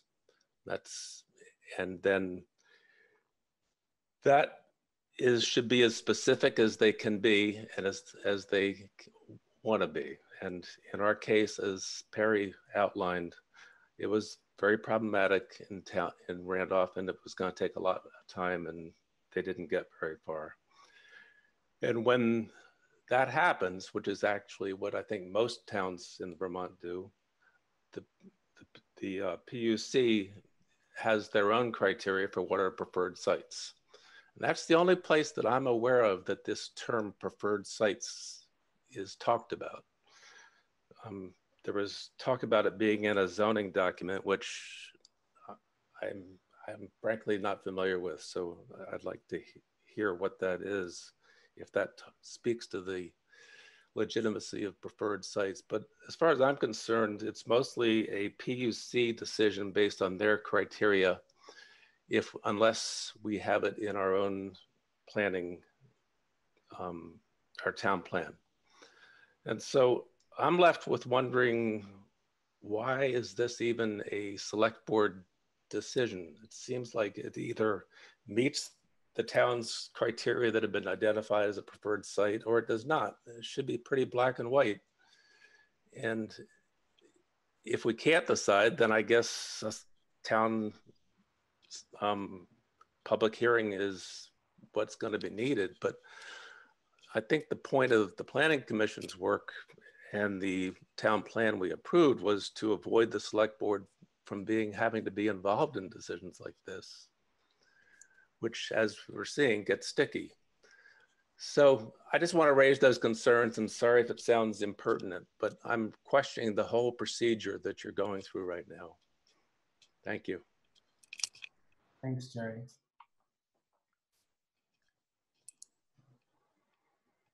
So just a little bit of answer that, Jerry, I believe we're required um, in the new process for these, um, which is part of why the planning commission went through the struggle of how to handle preferred sites. And I think a lot of Randolph's interest was driven out of the uh, hundred acre solar array that was being looked at up in Randolph Center. Um, and there was some changes made to legislation that better defined what what towns needed to do and what they didn't. Maybe Brendan can answer this, but if a town shows no preferred sites in their town plan, how does that work when you come in to develop? It doesn't mean you don't get to, correct? So I, I appreciate the, the public comment and will just say that this is, this is in fact the process. The towns have the ability, as Randolph attempted to do, to um, identify preferred sites in advance of any development. Um, relatively few towns have made it through that process of doing the necessary mapping and, and def- defining in ad- advance what would be preferred. So, absent that, individual sites are proposed uh, by an individual or developer, um, and then the town first through the planning commission, then through the select board, and then through the regional planning commission consider uh, them individually. So that's the that's the process. That process is um, is created by the Public Utilities Commission, but the it these follows those steps. Brendan, could you still proceed if it wasn't a preferred site? That doesn't stop you, right? It just makes the process harder. Is that? Uh, no, uh, you cannot proceed with this uh, type of project uh, without it being a preferred site. Because of you could proceed. Right. So the it's impossible. I, I don't know if one has actually ever made it through in the last four years, but you can do a, a 150 on a non-preferred site, um, but not a 500. Uh, but this is uh, it's a good process in general. It takes our time, and I know it's a burden, but uh, um, we've worked with many towns in the state and many planning commissions and select boards, and I feel like tonight um, it it provides good input and and helps people in town. So I'm I'm happy we're doing it. Okay. So we have a motion and a second on the table. Any more discussion? I would just like to say my feeling again that I think if we're going to be looking at basically every large solar project, that we should have some criteria that we're going by. Um, should be in writing. We should be able to see that when we're talking about it. And we should have a public hearing that's well um, announced so that other people in town can comment whether it's a preferred site.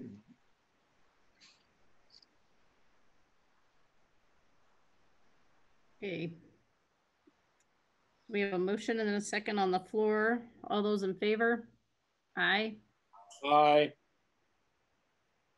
Opposed? Aye. I'm opposed. Abstained? Motion carries.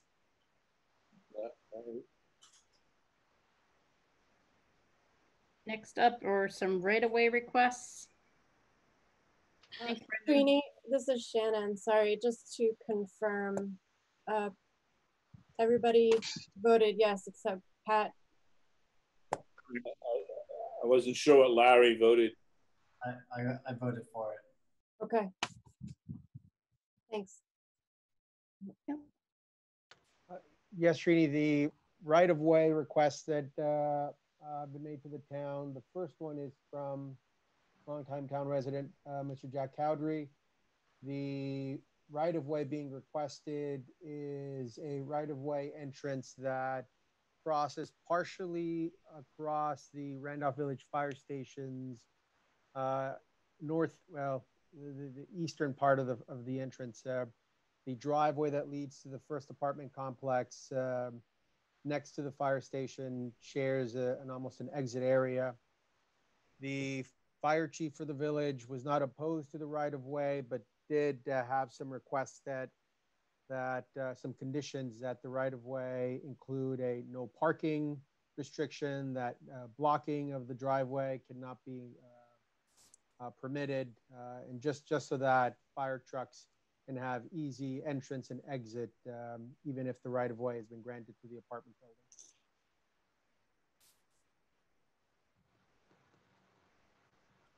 Uh, this, uh, I believe this is cleanup still from when we constructed um, the fire station. Because early on, there was conversation with him about, we dug up a portion of his driveway um, and changed the slope, I believe, on that bank. And in the end, we were gonna clean this up for him. That's right. Yes. Conditions were all discussed at that time, that the ability for him and his tenants to cross over that land to access was one thing, but they wouldn't be allowed to. And we had, we weren't gonna allow anything in there. So there was conversation about, um, I can remember the, because it kind of got off kilter a little bit, the discussion about they weren't even allowed to have like lawn sales or anything like that and use that space. And it all went back to their access was a shared access with the fire folks. Yeah. So Could I move to approve the right-of-way request, please? If I may make a recommendation, if there is a motion, uh, With the the mo- with the conditions, correct. Thank you, Adolfo.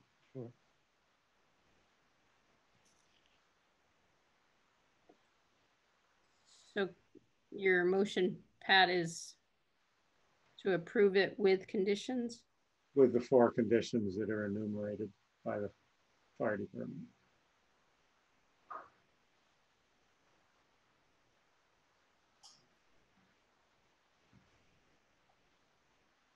So I'll second that. You have a motion and a second. Miss, all those in favor? Aye. Aye. Opposed? Abstained? Motion carries. Washington Electric. We received a right-of-way request from Washington Electric. They are requesting a right-of-way to install a, an electrical pole uh, next to the intersection of Chelsea Mountain Road and Moxley. Uh, They firmly believe that the electric pole is outside of the town's right-of-way, but uh, would still like a right-of-way. So if they need to trim trees or remove branches, uh, that they can do so without uh, having any, any issues with the town. I shared this uh, permit and the mapping with uh, Morgan Drury, our highway superintendent, and he did not have any problems with the location of the pole or the proposed location of the pole or with electrical wires crossing Chelsea Mountain Road in that location.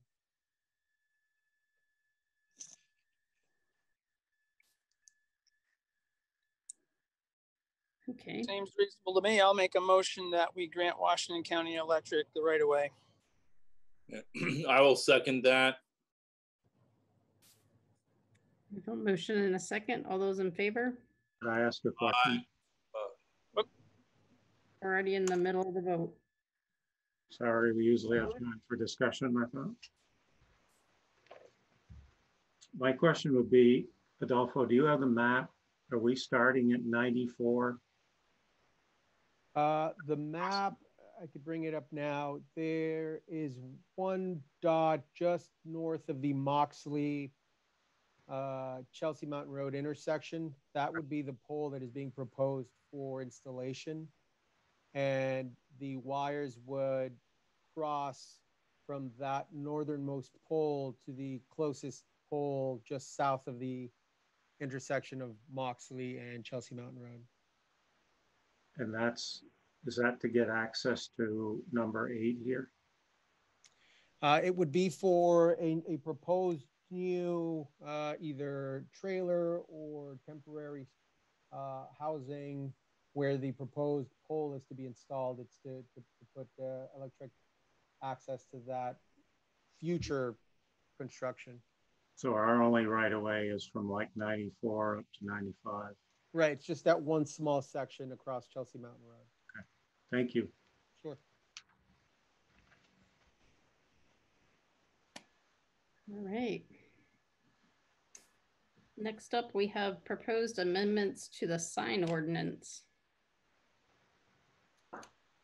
I don't believe we have any members of the, uh, oh, we do, I'm sorry, we have Perry, uh, members of the planning commission here.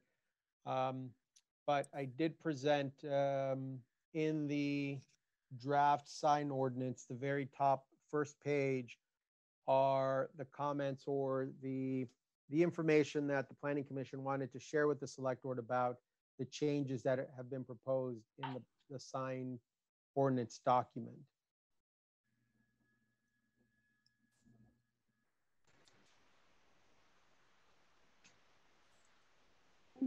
Was that in our documents this time? Uh, yes, it, uh, was included in your packets. It's titled, uh, Sign ordinance draft. Ordinance. sign ordinance draft, yep, and description of And- proposal. Yeah, has the talking points for the side ordinance. The, the first page is the talking points. Correct. Yes. Do we have any comments or questions? Perry, can you speak to um, the language where it says major change um, in terms of exactly what content neutral signage code means? um, So Based I on the Supreme Court decision? yeah, so what happened was we were given a document based on the Supreme Court decision here of Reed versus the town of Gilbert. And so one of those decisions was that all, all content in these signs needs to be content neutral. So we struggled with that, figured that out, came up with a draft. And I believe that um, we feel that what we've presented here meets all those requirements of being content neutral. So I think we spent probably three to four meetings on this. And so we reviewed the remainder of the document and those other changes are in here. Didn't seem to be too, too, too big of changes. Um, we did talk about code and how we were gonna deal with, with offenses. So you can see in there that we've raised the rates on that. And so I think that's pretty much the synopsis on that. What, what, does content neutral mean? Uh, just, just to get some clarification on that. I, I suspect I know, but um, what, what does that really mean in terms of the content of the signage? Well, um, a lot of stuff went on in discussions about this. So there was discussions about religious stuff and those kind of things. So you can't like deny a church, okay, that wants to put up a sign. And so we ran into a lot of that kind of stuff. So it needed to be, I, I'd have to say, you needed, the document I think was six or seven pages long. Um, and I can't recite all that to you right now, but but it was we needed to address what we were you know dealing with. And we didn't really have any problems but this was that's something that had come up. And so we needed to change the ordinances to make sure that we didn't discriminate and we kept stuff neutral. Tom, to add to Perry's comment, um, essentially what the town can do is it could, it could dictate the size of the sign, could dictate that it's located on the property that, where the, the sign is being advertised, like, you know, like, uh, Mobil oil, you know, it would be on the Mobil oil side. Um, so the town could set criteria for the sign and the dimensions and everything else, but we can't police whether it says, you know, I like uh, automatic weapons or I like, Right. you know, Yeah, whatever that's it. freedom of speech issue. You know. exactly those are the things you can't you, you can't let one group put up something that you wouldn't let another so Yeah. Right, right.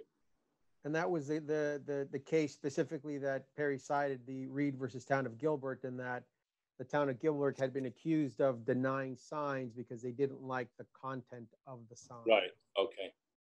Yeah. So content neutral basically speaks to fundamental freedom of speech and expression. Correct. Yeah, kind of. As long as it's not Yeah, yeah. obscene or, you know, um, Yeah, Um, there was there's some parameters about you know what's Obscenity. in good taste, I guess. yeah. Yeah, yeah. Yeah, yeah, you can't you can't do that, but I mean it was it was like you know religious freedom and those kind of things, and you know people's political views and stuff like that. So you can't you, Ah, you yeah. can't you can't you can't regulate that. No, no, absolutely. I, as a pretty confirmed civil libertarian, I get that. So Yeah, yeah, okay. good, good, good. we felt that you know we did a pretty good job with with uh, taking all those things into consideration. You'll notice here we talked about murals and arts and what's not a sign and what is a sign. So I think we covered it, you know, based on you know history and what we know. The ordinance hadn't been rewritten for a long time, so we felt that this is was was needed, and so I think everybody. I think this was approved by the entire board. I don't think there was anybody who, you know, voted nay against this. So Right, right. Let me just ask a question here, given the discussion we had at the last select board meeting um, concerning flags. Does this um, in any way address the question of flags on public facilities as opposed to private property? I don't remember having that conversation and I don't think we addressed it. So that was kind of after the fact here. Right, okay, okay. So I'm looking at a definition of flag here. Any fabric banner or bunting containing distinctive colors, patterns, or symbols used as a symbol of a government, political subdivision, or other entity. I just, there's some gray area there that, that, um, I don't think we need, Yeah.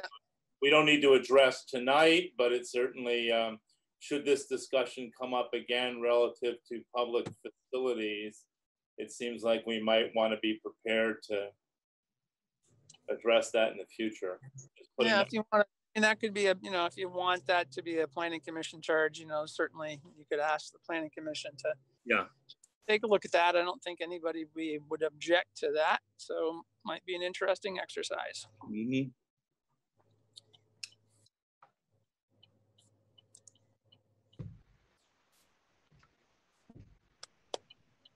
Great. Any other questions about the proposal?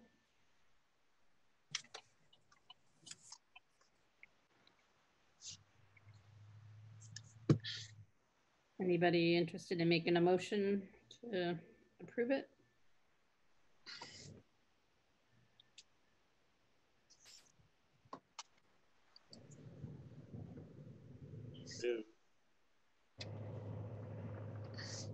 Tom, want was that a a, motion? wanted a motion to warn the hearing, right?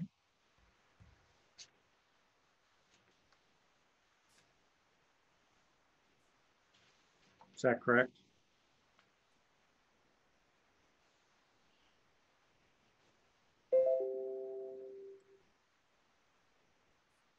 I don't believe, Pat, to answer your question, I, I don't believe that we would need a hearing for uh, the sign ordinance unless I, unless I missed something. Well, just, I- when I was just reading what um, you sent to us, we're not talking about approval based on that. We're talking about, um, The recommendation here, is to post the revised sign ordinance in draft form on the town's website. Is uh, right,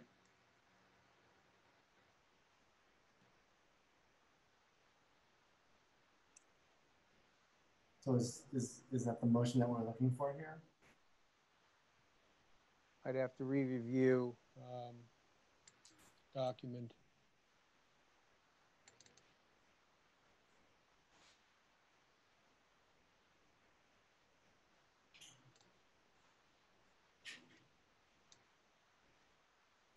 You may be correct. I would have to refresh myself on the process, but it could, it could require uh, a public hearing because, because it is a revision of the ordinance.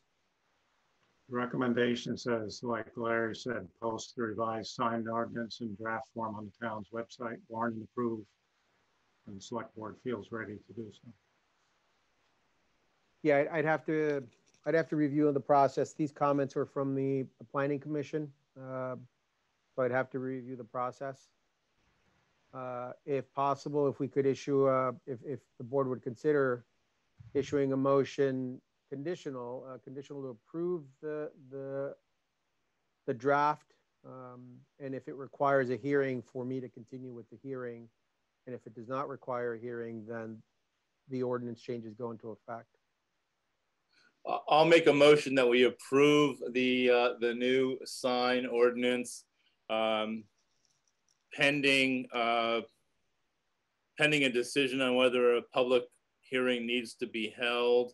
And if so, we hold that hearing. If not, uh, we move forward with, um, formal approval, if that meets your requirements, Adolfo. That would. Thank you, Tom. I'll second that. I, I would just comment, I think all ordinances require a hearing before you Okay, we- approve. We have a motion and a second. All those in favor? Aye. Aye. Aye. Abstained? Motion carries. Thank you. Is the bids for custodial services. Yes, we've reached the point where our existing contract for custodial services um, uh, will end uh, because of the amount, the annual or the, the amount of the contract exceeds $10,000. Uh, we thought it best to bring the, the proposed bid document to the board to approve um, the document so that we may release the, the document out for bid the board approves, we'll send it out and hopefully receive bids from custodial companies that are interested in providing the services on the bid document.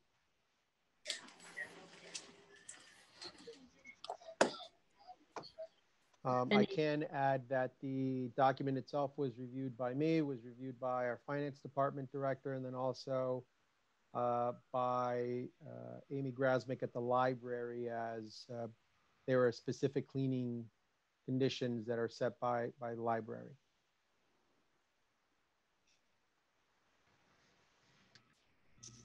So other than changing the dates, any questions on this one?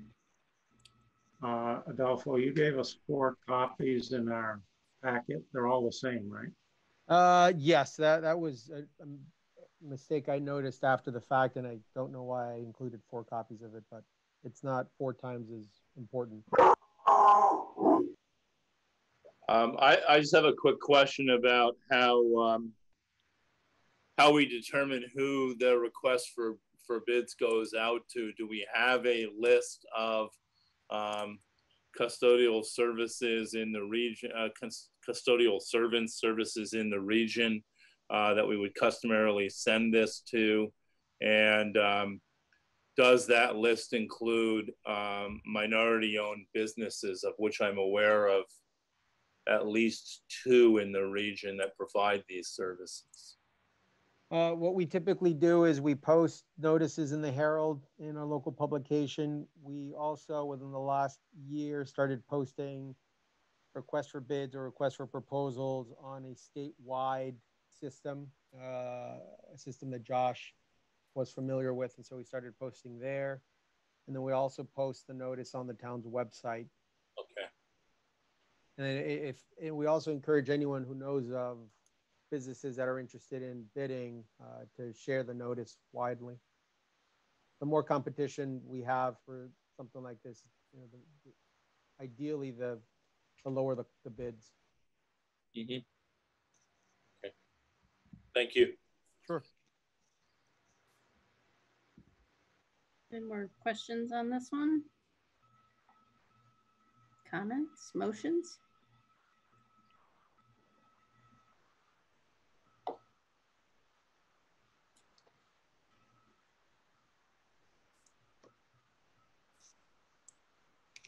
I move that we use this document for the bid for custodial services, services. I will second that. All those in favor? Aye. Aye. Aye. Opposed, abstained, carries. Orange County Sheriff Department data review. We have on the call, um, we have Sheriff Bohnyak and we also have Deputy, uh, Hinojosa, uh, who, uh, joined the, uh, the Randolph team several, several weeks ago, several months ago. Uh, if I, if I may, I'd like to preface, um, their, their sharing of information with the select board, uh, just by sharing that, um, prior to us having a connection with the sheriff's department, it was, uh, very difficult, if not almost impossible, to track this type This of. type of It just was not something that we were able to obtain from the Randolph Police Department. Uh, since switching over to the sheriff's department, we have had um, overwhelming positive response from the community. The initial, the initial concern of, you know, we can't lose the Randolph Police Department, we're losing our identity, uh, was an unknown fear because now that we have the sheriff's department here, the comments that I receive are overwhelmingly uh, to the effect of we see them everywhere. We never saw the Randolph Police Department this much. Uh, we see them walking the beat in the village. They're very responsive um, when they need to be. They're very professional when they need to be. And we've also heard very positive comments that uh, Sheriff Bohnyak is a town resident. He's a resident of Randolph. So um, just wanted to share that before we share this information uh, with the board from the Sheriff's Department.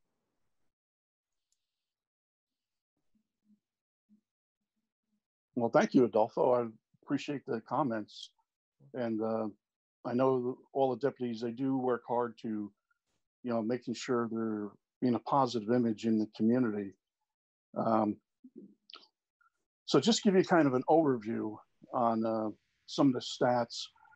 Um, we tracked, you know, everything from the motor vehicle stats, uh, that's the traffic stops themselves. And uh, what I did was a one year snapshot basically from, you know, like July, say July 1st to June 30th. And uh, in that time period, um, we stopped over 600 and some odd vehicles. Out of the 600 some vehicles, um, we actually issued 120 tickets and the rest were warnings. So, um, you know, we try to work with the public and educate the public on, you know, a lot of them are minor motor, motor vehicle violations like rolling through a stop sign. Um, you know, recently we had several issues of speeding complaints. You know, we um, we put the radar card out, uh, especially up on Elm Street, and uh, we've been doing directed patrols um, throughout the village, and uh, so traffic has been like the number one number one issue. Uh, even on our arrest, we last year we arrested 49 people. Uh, the majority of the arrests were um, had to do with some sort of driving infraction. Um, driver's license suspended. Um, the other uh, arrest that is notable is uh, we had domestic violence domestic violence arrest, and one was a pretty serious one where um, a woman stabbed her boyfriend several times. Um, she still sitting in uh, Springfield jail, I believe, because um, she did this twice in a, about a two month period. Um, once in Randolph and once, I believe, in the Bethel area. But with that, um, directed patrols have, you know, that's our next highest uh, incidents. Uh, assisting citizens, you know, almost 100 or 175 as citizens assist. That's everything. Someone comes either uh, stops us on the street or at the PD, um, has some sort of question about, you know, it could be uh, anything from uh, a neighbor dispute to um, just helping with directions with something. And then uh, let's see here. Agency assist, 114 of them. And what entails an agency assist, it's everything from uh, not just helping like with the state police, but uh, agency like Clara Martin Center, Gifford Medical Center. Um, it it could be even helping out with uh, Capstone Community, um, helping them out. So another another big one: suspicious incidents. You know, a citizen calls up, they got something that doesn't look right in the you know on their street or in the neighborhood, or uh, it could be uh, a few times we got called to Cumberland Farms where there's some activity in the side parking lot. Um, so altogether, you're looking about 19, a little over 1,900 incidents total. So the deputies have been been out and about. You know, the whole thing is um, we we try to keep our the vehicle, the deputies out on the road, either on foot patrols or out in the village. You know, it's not just the sitting in the in the PD. Uh, as you could tell, uh, over 600 motor vehicle stops. So, and I think the deputies have been very thoughtful and reasonable, writing over 500 warnings and uh, like 120 tickets. So, you know, we're not being aggressive as far as tickets. However, when we do have a an area like Elm Street was a, a problem area, we had, we've been addressing that, and uh, also keeping an eye on Maple Street with the truck traffic. And Adolfo, I think you're 100% right because I, I witnessed a truck turn down uh, Merchants Row and then make a right going up Beanville, Pleasant Street to Beanville. So I think the GPSs uh, have a lot to do with that, the way they're set up. Um, I'm open for any questions. Uh, Sher- Sheriff, I'd just like to ask, um, you mentioned domestic violence and there's been a lot of reporting uh, uh, nationally since the COVID-19 shutdown of increases in domestic violence because people have been basically kept at home. And I'm just wondering if you've seen any um, indication of that happening in our area as a consequence of the stay-at-home uh, edicts. what we have noticed almost immediately on the onset of COVID and when the, the schools shut down was we had a lot of 15 and 16 year olds. They didn't want to listen to their parents and they, they wanted to visit with their What friends. else is new, huh? so that was, that was like, uh, we had multiple calls like that. Uh, so it was like family disturbances, but you know, we, we went there and, you know, we talked with the, you know, you take that few minutes and explain to the, to the 15, 16 year old, hey, this is why your parents are doing this. And this is what's, you know, the, the ramifications of this COVID virus. And uh, I think only uh, one, I think on, out of all the ones we dealt with, there's one, one, one person that was a repeat offender like three, four times before he finally got it and stopped uh, uh, trying to leave the house and and uh, do other stuff. Right. But you know, with the, I believe in the last couple months, we did see that increase in the domestics um, in that uh, in that first COVID, the first two months, there was an increase in his domestics.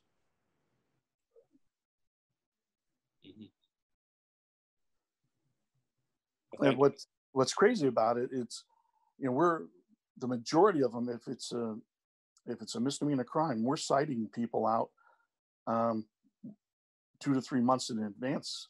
So they're um, uh, they did something back in April or May, and now they're going to court in July and August. So the, the courts are actually it's going to be a backlog on the courts because they have many many cases like that, and it's not just you know the sheriff's department; it's state police also. Right. Sure, sure. Thank you, thank you. Sheriff, I have a question. Yes. Uh, On a couple of the um, the reports that you gave, the one on that says town arrest, the other one that says village arrests, Um, there's a line that's blank on both of them. I was wondering what that's what, what that's about. It doesn't list the, it shows like, um, example, of village one, 16.33%. Um, it doesn't show what the, you know, exactly what it is. Yeah, exactly. So I could find that out for you though, because it's listing actually eight arrests for that. That's something I'll, it's uh, probably in the programming. I could find out and I'll get back to Adolfo and he could pass that along to you. Great.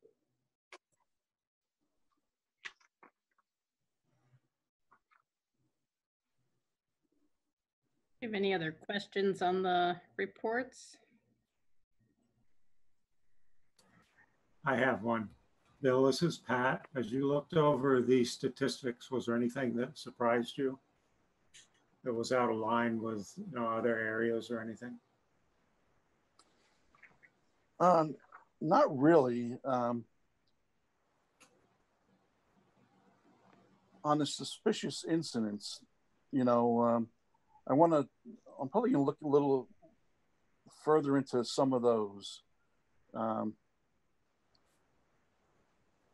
that that one kind of stuck out a little bit because, you know, you you say to yourself, what is going on and why people are calling in suspicious, you know, um, incidents, and um, that was up there. So that's something else I could also get back to you on. But besides that, um, you know, I everybody drives a car. Well, not the majority of people, the motoring, tra- you know, public. So we do have a lot of traffic, you know, through the village.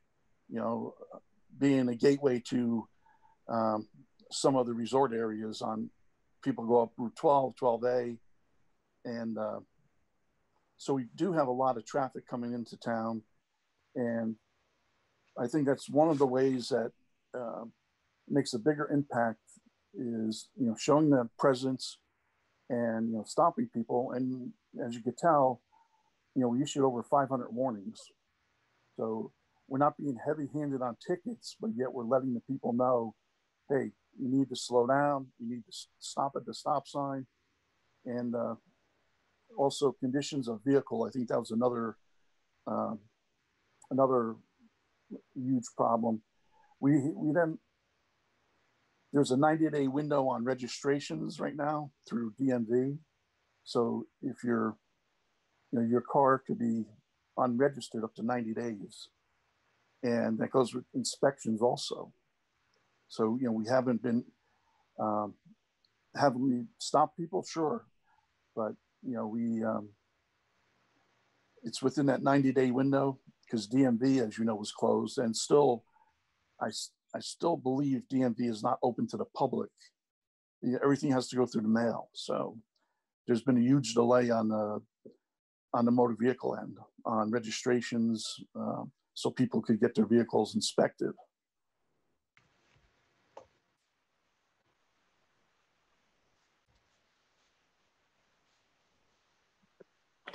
You are hundred percent correct, Sheriff. DMV is not open for anything other than testing.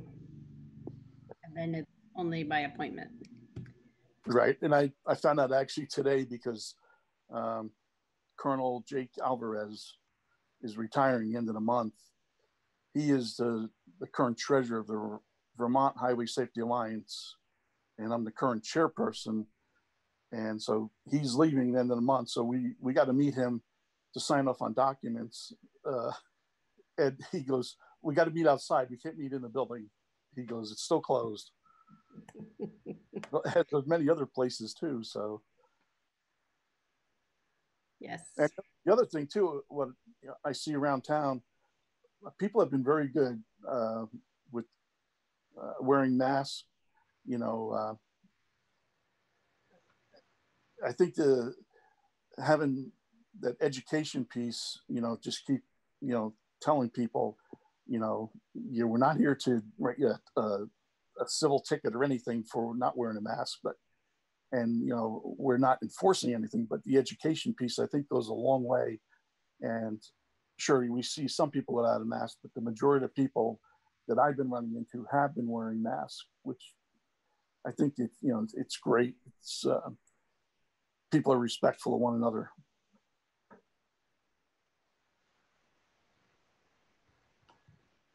Great. Any other questions for the sheriff? I just want to um, I just want to thank um, th thank Sheriff Bohnyak and and Deputy Hinojosa um, for their openness um, to discussing the racial uh, justice and equitable policing policies. Uh, the the forum that was held last evening in conjunction with FOR and the NAACP Rutland chapter was um, was a real beginning of an important dialogue in the community. And I'm, I'm really appreciative of the Sheriff's Department uh, for their willingness to have those difficult conversations um, that need to be had. And I, I, just think it's, it's really to your credit, Sheriff and, and Deputy Hinojosa, that um, uh, you've begun that process. And so thank you. Thank you for that. You're quite welcome. And uh, I received an email uh, from a participant last night um, she pointed me to an article written in the New York uh, Times or one of the New York papers as a, a good article, and uh, I'll share it with you know with you with you, Tom. And uh, she was very appreciative that you know the openness that we're the dialogue and uh, yeah. So and and I, I also really appreciated um, the the statement that um, uh, Deputy Hinojosa read at the outset of the meeting last night relative to some of the race, recent, um, uh, you know, violent incidents that have occurred with um, uh, both vigilantism and police forces around the country. I think it's uh, it's really to our credit here in Orange County and to your office and department that um, you're being very forthright about your feelings about those issues. So thank you. You're welcome.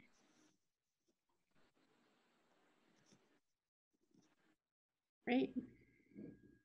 Any other comments or questions? Hearing none, I will thank both of you for joining us and waiting through the rest of our agenda to get to you. You're quite welcome, Trini. It's uh, it's an education uh, listening to the select board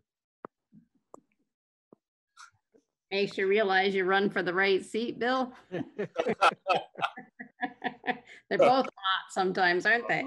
oh yes, uh, it's interesting, and uh, even when I even when I retire, I'm not going to go away. Believe me, you'll you'll still see me around. It reminds me of that old Confucius saying, "May you live in interesting times." It's sort of, uh, yeah. You're not kidding. Uh, it's most interesting, and you know, I see, I see it on a local level, I see it on a state level, and uh, you know, on the national level too. So it's it's, but what I I can tell you right now, it's going to really. Uh, you watch from the end of August when uh, our legislators get back in session. You know, once again, we'll be talking about uh, law enforcement, and uh, I I suspect that we're going to see a lot more, uh, more, a lot more dialogue on a lot of different issues. Um, so it's going to be interesting. And what I really found fascinating when I learned that uh, the Vermont Criminal Justice Training Council uh, had two new members added to it, which was uh, a member of the ACLU and uh, the Human Rights Commission. But they also left a, a little wording in there, eh, which was any other interested parties. So that can open up um, for a few other members, um, like Tabitha and Caitlin from the NAACP. So um, it's you know what we talked about yesterday you know at the academy level that's where we have new officers are going to come in and I think from the onset, um, the diversity and the, the different trainings, that's where it needs to happen. And then follow up, you know, once they get back into the field, as through the FTO process, field training, um, making sure and see how they're performing and watch their behavior, how they interact with different people, um, especially people of color. And if there's an issue, we need to address it right away. Um, and if you can't modify their behavior, then they really need to look for another job. So, you know, we're we're conscious of that, and uh, we, like I said last night, we want to be transparent and open. And uh, I know I'm rambling on. I'll let you guys go back to your meeting. Thank you. Yeah, much appreciated. Thank you. Great. Next up, we have the proposed truck route.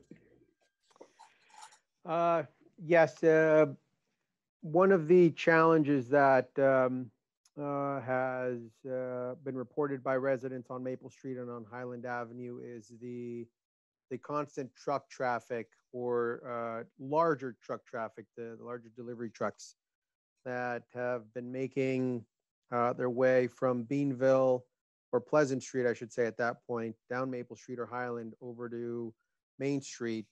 Uh, just like the sheriff pointed out that he's he's seen these trucks, um, you know, and I've seen these trucks, and I'm sure uh, many people um, have seen these trucks. So, and just in the course of really focusing on this issue over the last few weeks, I have um, spoken with the uh, representatives from all of our major businesses, uh, asked what their thoughts are on proposing a dedicated truck route, and they all overwhelmingly uh, uh supported this. One of them in particular, the uh, president of New England Precision, initially had expressed some concern um, I think he had felt that the town was attempting to, to limit the large trucks and really just affect businesses on Beanville Road. Uh, he actually pointed me to something that I, I had not just seen. I think it was just so out of the way. He pointed out that we have uh, signs on Beanville Road and, and Route 12 that limit the size of trucks uh, to 24,000 pounds. He also pointed out that a similar sign exists at the gazebo uh, that says trucks of a certain size uh, and above can't go down that road. And so that, you know, although I can't confirm, but I feel that that was um, adding to the confusion to some of these truck drivers and why they are choosing to take Maple Street uh, as opposed to just continue on Pleasant Street or Beanville Road. So uh, the proposed route that's in front of you is one that would keep trucks um, on the, the, more business portion of town. It would uh, affect fewer residents. Uh, the business owners, when I had loosely told them of the potential route, all uh, were in favor of it. And if the select board would approve of, of this proposed route, um, I could ensure that I, uh, the signs that are on site of the 24,000 pounds or below are better located, uh, for example, at the ends of Maple Street and Highland Street, so that trucks now know they're not they're not to go to that route. And then also, um, we would purchase more bright new signs with arrows that clearly say truck route and direct trucks to the appropriate locations, there, thereby eliminating potentially eliminating truck traffic on Maple Street, Highland Avenue, um, and maintain those to regular vehicle traffic.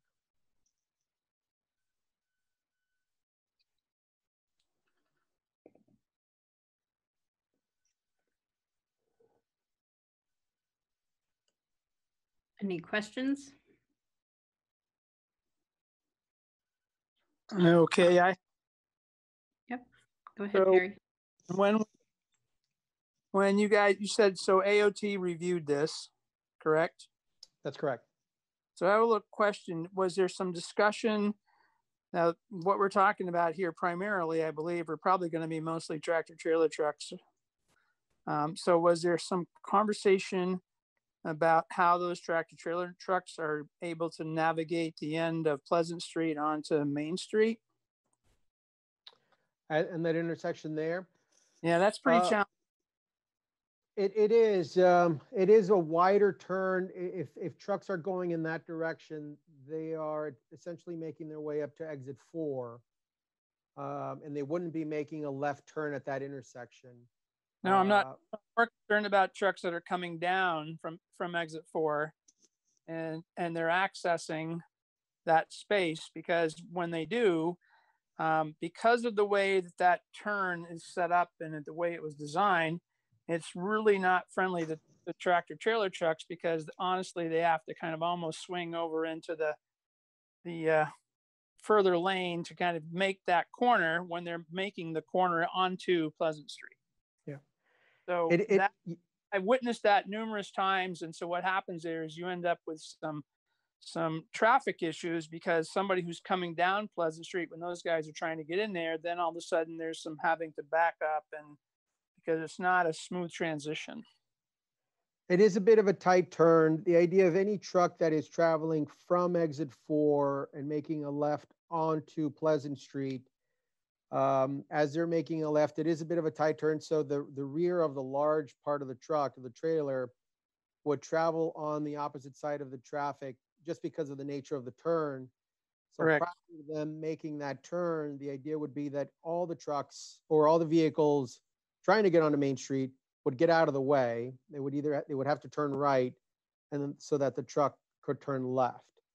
Um, it, it is, it is a squeeze there, but, um, you know, the, the other option is just to force all traffic to head down um, Main Street and make a left on Beanville, which is an even more sharp turn and the Correct. trucks would, wouldn't may, wouldn't be able to make that turn at all.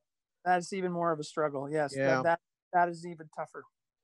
This So- could be a, a, um, I'll, I'll use the phrase, you know, government talk, short term, but really means, you know, five years probably, uh, where we could potentially work toward, uh, improving the intersection at Beanville and 12 so that it's more of a, a direct left turn and we can feed all trucks down that road. Um, but in the, in the short term, th- this would be, um, you know, it's not perfect, but it would be a solution to the immediate problem. It would have other challenges, but it would still, it would potentially eliminate the problem on Maple Street for the, for at least the, the first. Yeah, I mean, I think this will definitely solve the Maple Street issue. Yeah. Um, so It it's may just- create another, you're right. but It may, you know, create another, and I just, you know, wanted to know if there was any conversation about that intersection there at uh, Pleasant and Main. Whether or not that could be reconstructed to make that transition easier, so we didn't have some traffic problems in there. Yeah, I, I think the, I think the, you're right, there were traffic. I think the goal would be to just fix Beanville and 12. Yep. And then just have everybody go down there, uh, as opposed to fixing the, the gazebo one. Right, because when they're coming up Beanville Road and if for some reason they had a delivery, you know, going down to Shaw's or something like that, you know, that's a hard turn to make going either, you know, going either fr- going in or out of there. That's a challenge too. Yeah. I did see a truck today um, coming up Prince Street, and it was a, a very large tractor trailer delivery truck, which surprised me. And it was a large FedEx truck. Um, so I was surprised that they were coming up Beanville to make a left onto Pleasant Street. So I don't know if that's a pattern where the trucks have adopted where they make a right onto um, Prince Street by the ice rink, go down by Prince Street, down by the bowling alley, and then come up Prince Street to avoid that squeeze that you're you're pointing out, Perry, right by the gazebo. Right. I think you So- find some of the local drivers that I've talked to, you know, they've got they they know how to navigate around town. So you have your local FedEx drivers, you have, you know, the local um, these these guys that are making deliveries, you know, for you know UPS freight and those kind of guys. I think the most of those guys are local and they all know pretty much what they where they can get in and where they can get out. The Yeah. problem happens here is I do think this is probably more of a GPS guided situation where somebody who's not familiar with the area and ends up, you know, in a in a situation where maybe he missed a turn. So I think absolutely the signing will probably correct that. Yeah. Uh, there's not much of a way to correct GPS stuff, but I think that su- absolutely signing would be necessary. Yep. And the goal would be to, before establishing this, um, you know, whenever the route is proposed, we're going to send the, the, the photo image of it to uh, all the companies. We'll ask them to post it at their loading docks. We'll ask them to forward that to any deliveries that they know are coming in advance so that anyone showing up, you know, even though there may be a squeeze at Pleasant Street, at the very least, they can, they could see what the map is in advance and, and maybe just exit on exit three and then come up 12. Yeah, that may, that may very well be the solution. So. All righty. That's all I've got to add. Any other questions? I have a question. I keep finding myself on mute. I'm sorry. um, Adolfo, I'm assuming this takes a traffic ordinance change to establish a truck route? Uh, I don't know if we do need a, a change in the traffic ordinance. Uh, I know that uh, when checking with VTrans specifically, they said that the town had the ability to just uh, choose its own truck route so long as we, you know, shared the information with VTrans. But I don't believe we have a specific requirement within the, the traffic parking ordinance that um, would require us to make that uh, like having a hearing or anything of that nature. If, if you don't do that, you can't enforce it, right? It's just an idea. Well, it, it's it's it's for signs. The, the issue now is that we have trucks that are 40, 50,000 pounds already violating the posted weight limit signs. So the idea is to try to, to get them to go to a preferred route um, as opposed to, you know, the, the idea is to just educate them at first, see the road. Most truck drivers will see the signs and will follow the signs. I think what's happening now is that they are seeing road signs that say, if you're in excess of 26,000 pounds, don't go down this road. But that's keeping them off of our preferred road, which is Beanville uh, or or Pleasant Street at that point. So we, we you know, I, I could look at the the traffic and parking ordinance again and see if if it would require changing. I don't believe it it does, but um, I could take another look. Thank you. That, that, I don't, that 26,000 pounds is more, that's axle weight, not total vehicle weight. Because otherwise you couldn't deliver oil, tr- you couldn't deliver oil to all those houses anywhere is where that sign is up. Yeah, That- they, That's, that's an axle weight thing, not a, not a gross vehicle weight. Yeah. Am I correct on that, Trini? You are correct, Perry. Yeah, it certainly makes sense.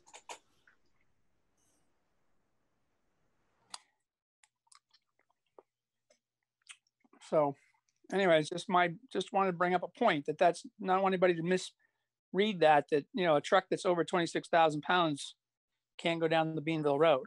yeah. The drivers know that that's, they should know that that's an axle weight requirement. So. Okay. I think you're better off to post something that says, you know, no trucks over a certain weight on that road. I think I've seen that in places we drive because they post bridges that way and things like that. So I think you can can do that. Yeah. Okay.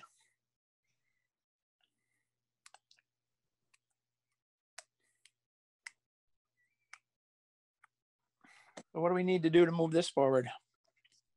Well, if the board would like, it could, um, it could motion to approve the route if, if they accept the route. Um, or motion to accept the route with, you know, any conditions that it would like for me to continue to look into.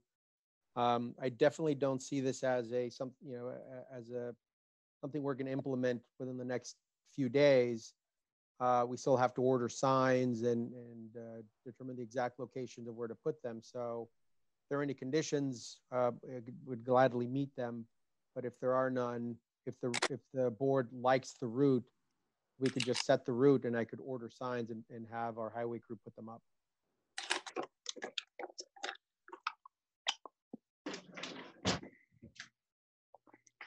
Okay, well, I'm, uh, I'm fine with that if there's no, uh, no necessary need to have some form of public hearing, so I would make the motion to move forward with establishing a truck route. I'll second that.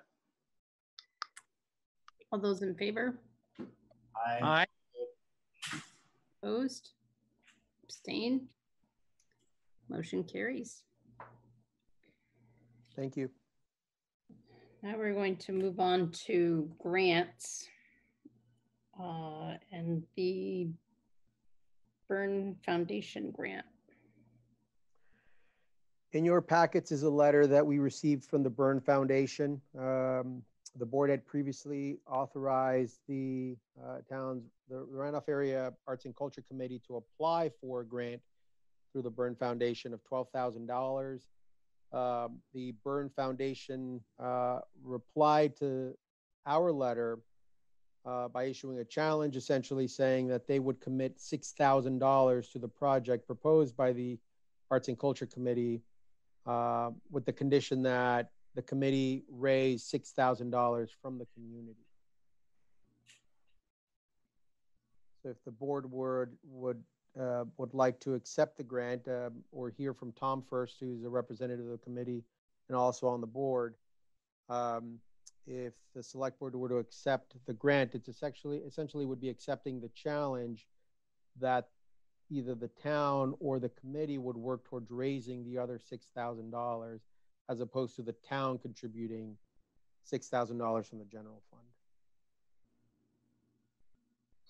Um, I'll, I'll, I'll speak to that. I, I have held off as the chair of the Arts and Culture Committee and also the Select Board liaison, if you will, um, to the Arts and Culture Committee. I've held off on alerting the committee to the receipt of this uh, challenge grant from Mrs. Byrne uh, until it was formally discussed here this evening. But I'm prepared to alert the committee uh, to Mrs. Byrne's um, offer uh, of a challenge of $6,000 um, and, and then convene the committee to discuss how we might go about raising that um, $6,000 match. Um, in these pandemic times, as Mrs. Burns uh, alludes to in her letter, which was included in our board packet, uh, this is pretty much the response that I anticipated uh, from our application letter to our application letter. Um, she is known, the Byrne Foundation is known to, um, even in non-pandemic times, um, allocate a fair amount of funding uh, uh, in the form of a challenge grant. And so I'm really pleased that um, uh, they have come forward with this $6,000 offer and I will put it to the committee for discussion over the course of the next couple of weeks, either through a Zoom meeting or um, some other kind of gathering uh, to move forward with uh, identifying um, $6,000 in resources from the community to enable this first mural in this proposed downtown mural project, uh, walk project to, um, to happen. And it would be great if we could, could we could do it, given the location, proposed location of the first mural. It would be great if we could do it coincident with the public infrastructure improvements that are going to occur in that area on the northeastern end of the Winslow block um, this later this summer and fall, which was our intent all along.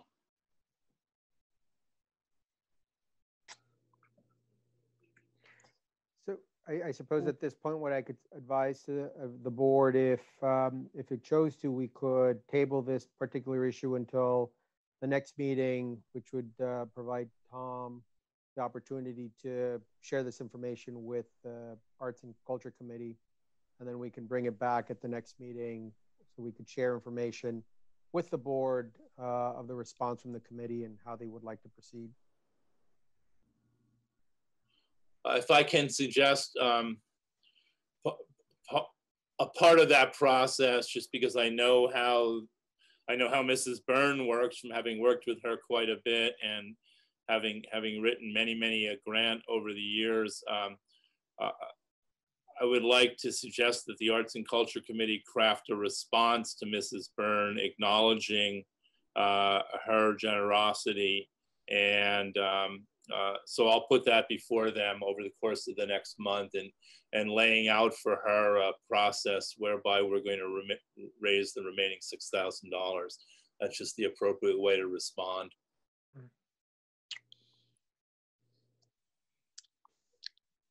Okay, sounds good to me. Yeah. So Tom, would you like us to not accept the grant tonight and give you that conversation with the committee or accept it? Uh, I, I, I think we should accept it. Um, and uh, I, I'm confident that the committee is going to be ecstatic that we've gotten it. And I, I think there will be a, a, a robust response from the committee in terms of how we're going to raise the remaining $6,000. So I think we should accept it this evening. And um, that would be my recommendation. Uh, yeah. Sure, then I'll make a motion we accept the grant. Second. All those in favor? Aye. Aye. Opposed? Abstained? Motion carries. Doing the warrant for unlicensed dogs. Uh, This was an item that um, had been tabled from the previous meeting just to uh, provide residents with an additional uh, amount of time, given the pandemic and dog registrations. Uh, At this point, the treasurer clerk has asked that the, that the board uh, vote to accept the, the warrant and to allow the process to continue so that the clerk can then provide this list of unlicensed dogs or the updated list of unlicensed dogs to the um, animal control officer. So do we have um, rabies clinics taking place now? Uh, yes, um, uh, vets are performing uh, rabies shots in clinics. Uh, they are doing them by appointment. They have different, um, every, every location has a different system, but uh, they are providing services, um, including rabies shots. Right, but are they providing the, the clinics for rabies shots? Oh, oh, I don't know specifically about clinics. Um, I, don't know. So one of the challenges um, that we discussed last time was folks who can't afford the vet visit plus the shots and whatnot. They go to the rabies clinics and get their shots there for the 10 bucks, 15 bucks, whatever it is. And this is going to force them to, those that have to, to go through the process of a vet visit and whatnot. Not to have Milo knocking on their door. Well,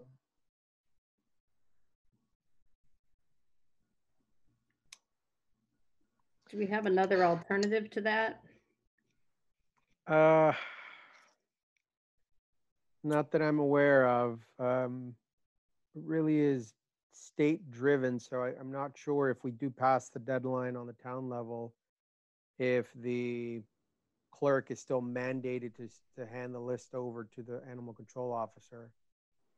Um, but there didn't seem to be a sense of urgency on behalf of the clerk, so I, I don't know if it were, if this issue was postponed again, um, I think whatever would have to happen per the state would happen uh, without the town forcing the issue prematurely.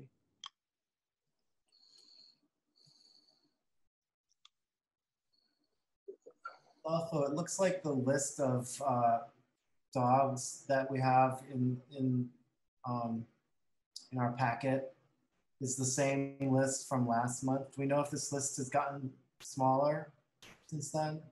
Uh, I, it may have changed. I did not receive an updated list from the clerk. Uh, so the list that you have in front of you may have changed, but I, I don't think it would have changed by much. Uh, because the, the doors to town hall are still closed and, uh, these type of items do happen by appointment and I, I haven't seen that type of foot traffic. uh, Uh, Okay. I, uh, I just want to say I have a background in animal welfare work, having um, been the director of the Humane Society in Chittenden County for a number of years in a past life. And the thing that concerns me here is is less the number of people that haven't renewed their licenses as some of the older uh, expiration dates on the rabies um, on the rabies vaccines. Um, there are rabies vaccines that date back to 2019 in a number of instances. And um, that's, that's more of concern to me than um, those licenses that show rabies uh, vaccines being um, uh, active until 21, 2021 or 2022. Um, I just want to put that out there. There are some, there are a, a, number of vaccines here that haven't been updated in close to two years or documented as having been updated. And that's, that's significantly concerning to me. I don't know, I don't know how the state feels about it um, or what the state statutes stipulate, but it's curious to me that there are a number of licenses that um, have um, rabies certificates on them that date back to 2019. I, I don't understand why this issue didn't come up. Um, well, I guess I guess it's only a year ago, but still, um, those are the ones that are most concerning to me.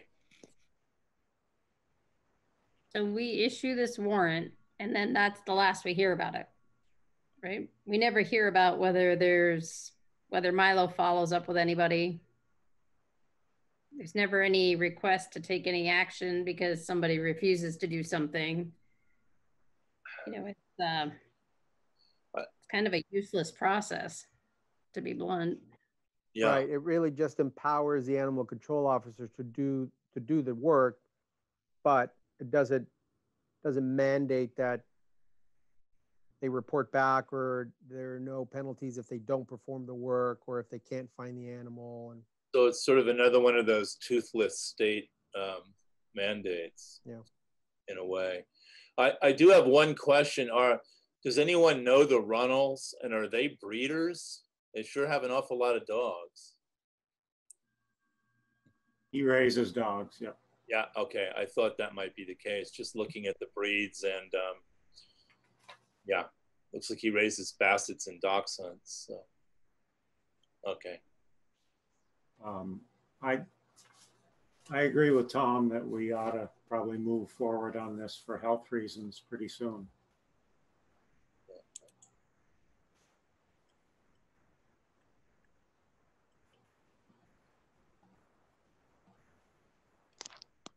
What's the process for setting up these rabies clinics? I, I, I don't know much about the, the rabies clinics. I, have I've never owned a, a, a dog, to be honest. So I know That's people who do own them, but because I we don't own a dog, so I don't know what the process is. Yeah. Uh, I think Joyce sort of works it out with uh, the vets in the area, from what I've seen in the past. So, do we know if she's tried to do that, or has it just kind of faded in the COVID 19 cloud. I have the feeling that they've done some, but I don't know for sure. Yeah. Okay. The the regional humane society around here, I believe, is the Central Vermont Humane Society in uh, the Montpelier Barre area, and typically humane societies um, take the lead in coordinating with local vets. Um, around rabies clinic. As the owner of um, two dogs and two cats, I have a very close working relationship with the Country Animal Hospital in Bethel. I would be happy to reach out to um, the owner of that uh, hospital to just ask her what they've done with rabies clinics in the past. And I can just point out my concern about um, significant number of old rabies vaccines on this list and just see what she has to say. uh, if that would be helpful to Joyce. I think it would be. Thank you, Tom. Yeah, I'll I'll give them a ring tomorrow. I have to set up an appointment for one of our critters anyway, so that's a good excuse for me to call them. Save the receipt for the call. We'll reimburse you. uh, Bethel's serious long distance charges. I got to tell you. Yeah. Yeah. Uh, I'll look. I'll I'll commit to looking into that because this is an issue of concern to me. Yeah, I think I think it'd be a good if you could find out about that, and I think if we could see if we could offer up a clinic or two, and then notify these people that you know there is going to be a clinic going on, and then they could bring their dogs into compliance, and then they could get their licenses, and I think that would be a, yeah. a very good proactive way to move forward with this. Yeah, yeah.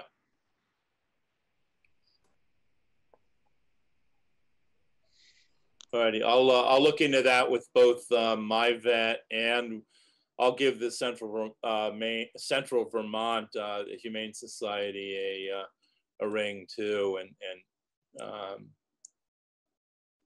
it, it, it could well be that the whole COVID nineteen thing has just thrown a wrench into the works here as well, and I think we need to be sensitive to that, but at the same time. Um, you know, rabies is a public health issue. So, correct. That's why I, I think if we could figure out how to work it out where people could, you know, socially distance, bring their dog, put on their mask.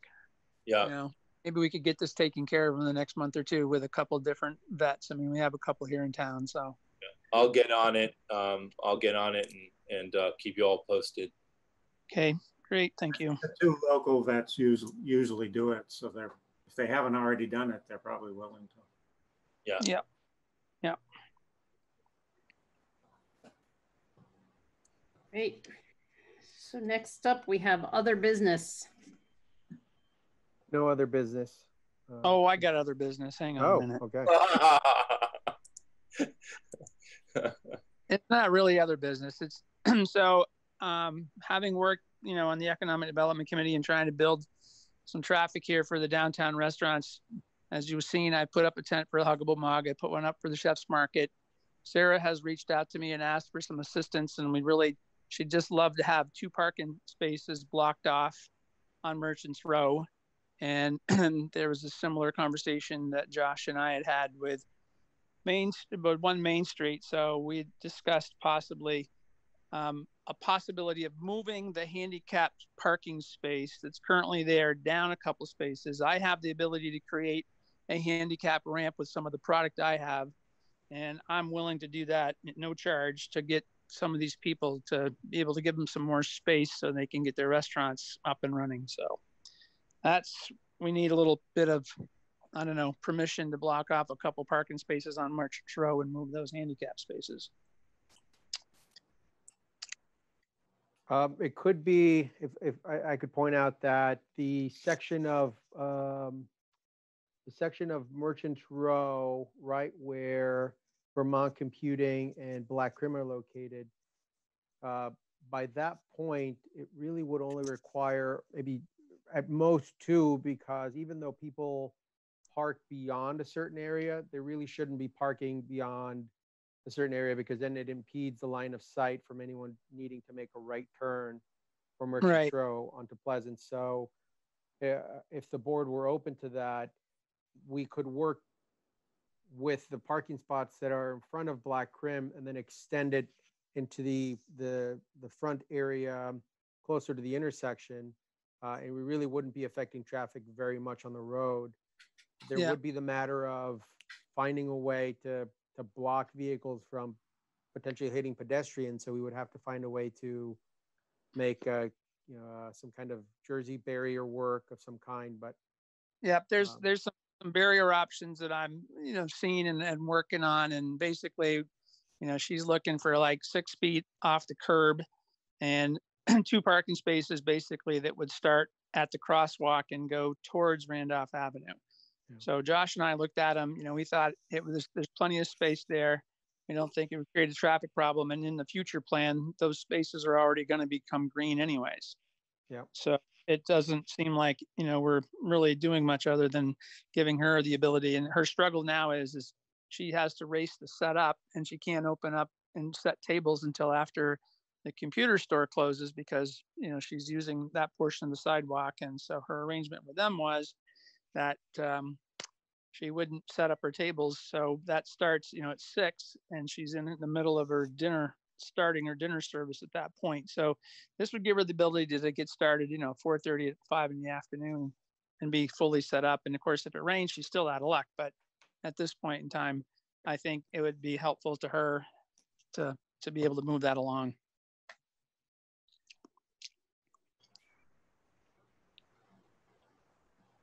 So Perry, you need a motion to um, close a portion of the street and to shift the handicap accessible parking spaces.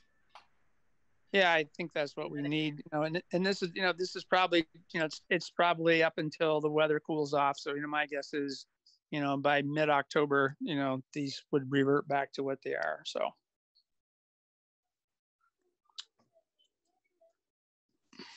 So, so just to be clear, you're talking about cutting back on two spaces, cutting back by two spaces and moving the handicap spaces?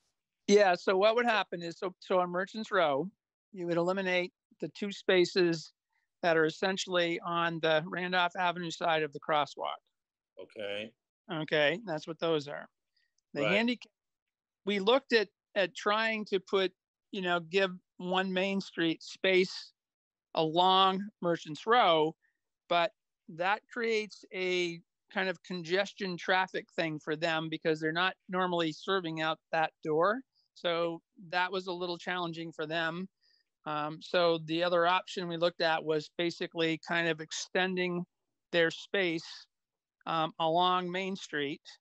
And that right now there's a handicap space there, which I can, you know, simply move that handicap ramp down to the sidewalk. And we have, we actually have that kind of material that would provide a four foot, uh, four foot wide um, handicap a- access up onto the sidewalk from basically a new handicap space that we would create. So it's might be simple as you know painting some new lines and providing you know this this walkway. I don't think it's a big challenge, and I think it would be extremely beneficial and useful to them because you know still they're all restricted to you know how many people they can have inside, and a lot of folks do not want to go inside. I've heard that from both of those that people are still concerned, even though there may be occupancy space inside. A lot of people would prefer to be outside. right, right. And to add to, to Larry, uh, to Perry's comments, uh, the section on Main Street where the existing handicap sign is already has a natural barrier between uh, where the seats would be and where the traffic is flowing because of that bulb out. So it, it Right. more would closely, it more, would more closely resemble the parklet uh, little scenarios that we've seen in, in bigger places, including Montpelier. Yeah, it'd be very similar to that. Yeah. So Okay. So can we take action on this as an uh, item under other business? Not on the agenda? Um, it, it, it, if the board is not opposed to it and it, wouldn't require necessarily a vote, I could just administratively uh, work with our highway crew and work to, to establish these, these scenarios.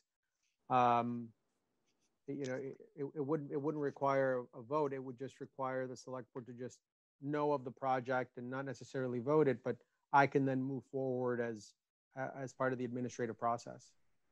That sounds good. Yeah. So what, what do you need in terms of a, a motion to make that? No motion. No motion? yeah, we don't need, don't need a motion. We just need, you know, you to know what's going on and Adolfo can, can, uh, can bless it. Ah, Well, duly, duly noted then. Thank you. I don't want to be the naysayer here or be the one to point this out, but doesn't the town select board define where uh, in public parking we have the accessible parking spaces? I, And that we have them. I'm looking at the, looking for the, um, trying to bring up the parking and traffic ordinance, traffic and parking and speeding ordinance. Hmm. Scope.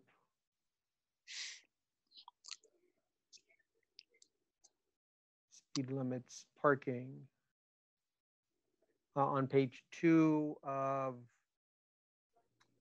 of the parking ordinance, it does discuss uh, hours of where, uh, parking limits of three hours. Um, Doesn't specifically say accessible parking. Says loading zones.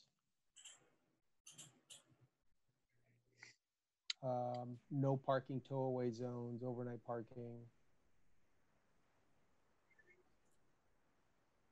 Uh, does not specifically mention accessible parking or handicap parking that I could see.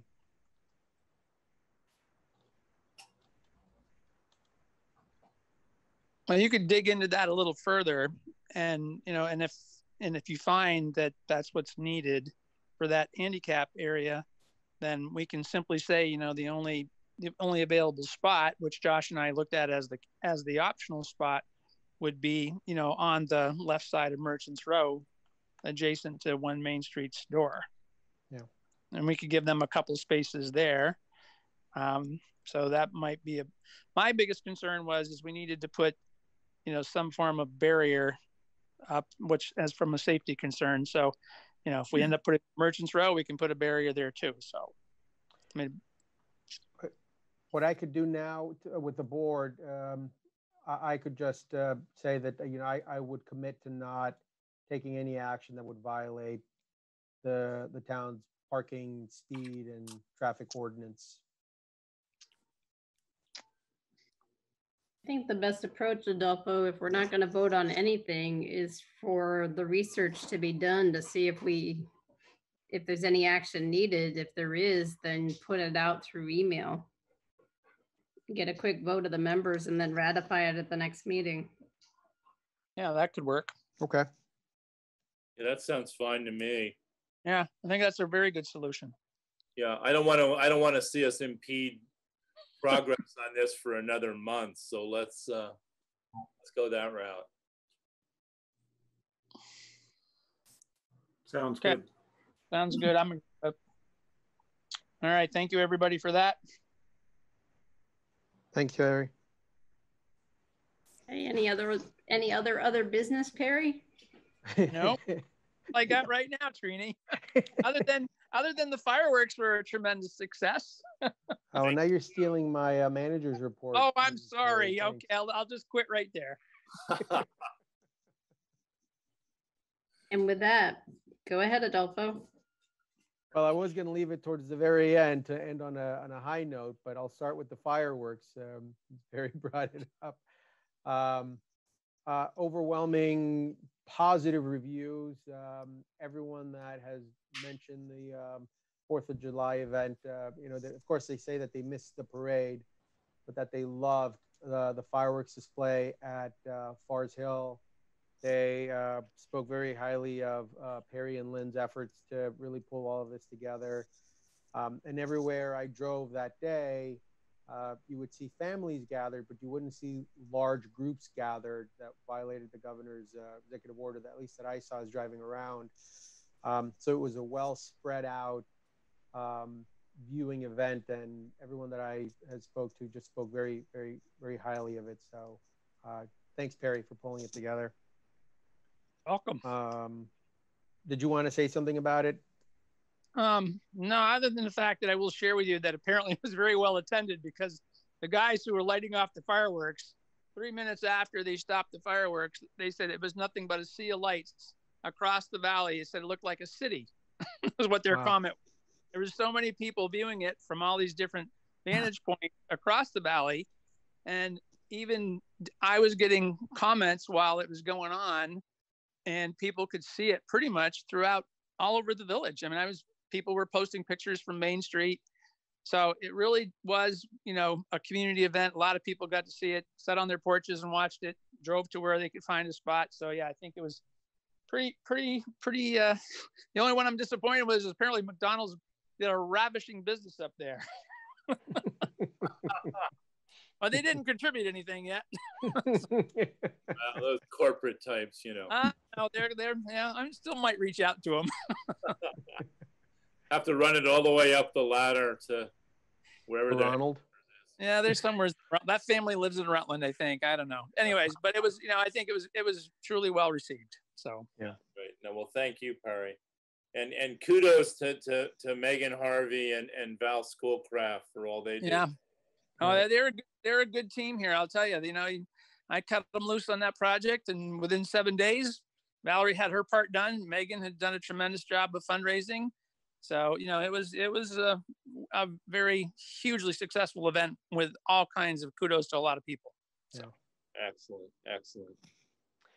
Uh, so to add to that, uh, well, not to add to that, but add to the manager's report, um, uh, what I do plan to share with the board uh, at either the next meeting um, or at a subsequent um, special meeting if the board chose to, to meet is that uh, we did receive an offer for 45 South Main Street.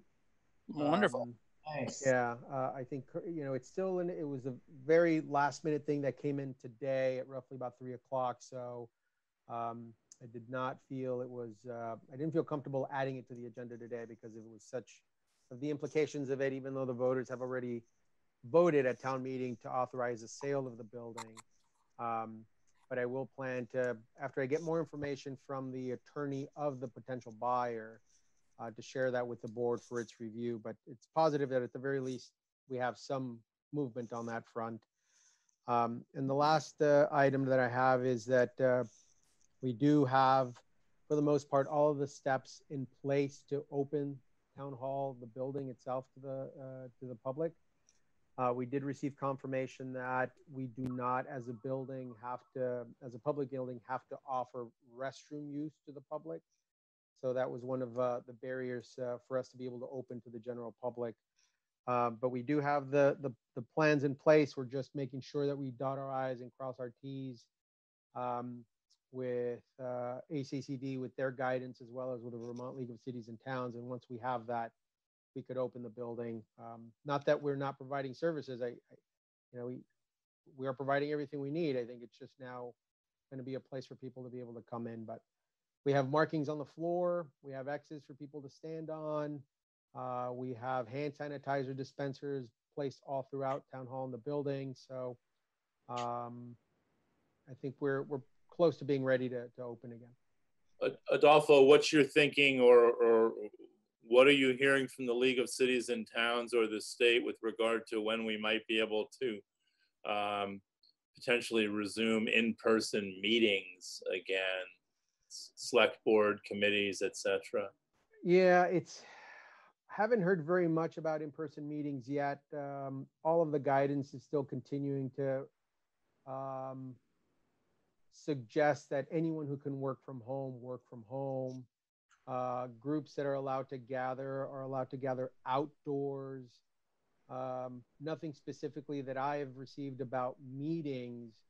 Uh, everything about internal uh, activities related to dining and shopping and that type of activity that uh, would stimulate some kind of um, economic revenue or, or activity. But uh, I'll continue to reach out to ACCD and to to VLCT about in-person meetings, um, Mm-hmm. and I'll share that with the board as soon as I get it.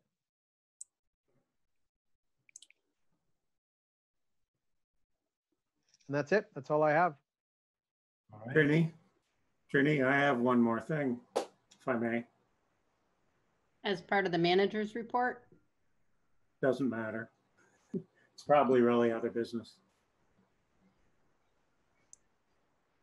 May I? Yeah, go ahead. Thanks. Um, I'm wondering if we could have on next month's agenda a continued discussion of racism and where the town wants to go.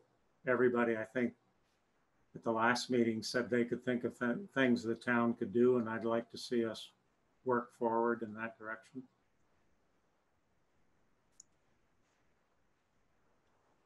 I'm, I'm happy to, to commit to that, Pat. And uh, as I indicated at the, uh, at the special meeting two weeks ago, uh, when we addressed the racism resolution, uh, I'm, I'm ready to step up and um, either chair or help to lead any kind of um, effort that we might um, make in that regard.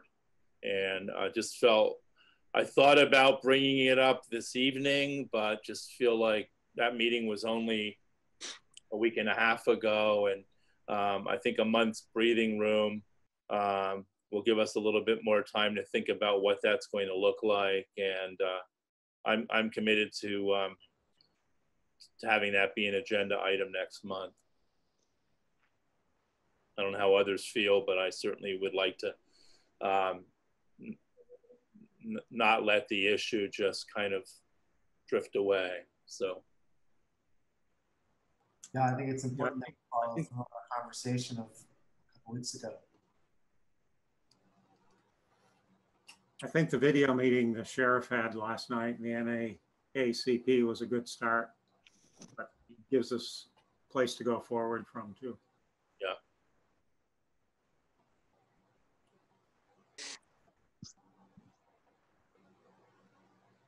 Any other items?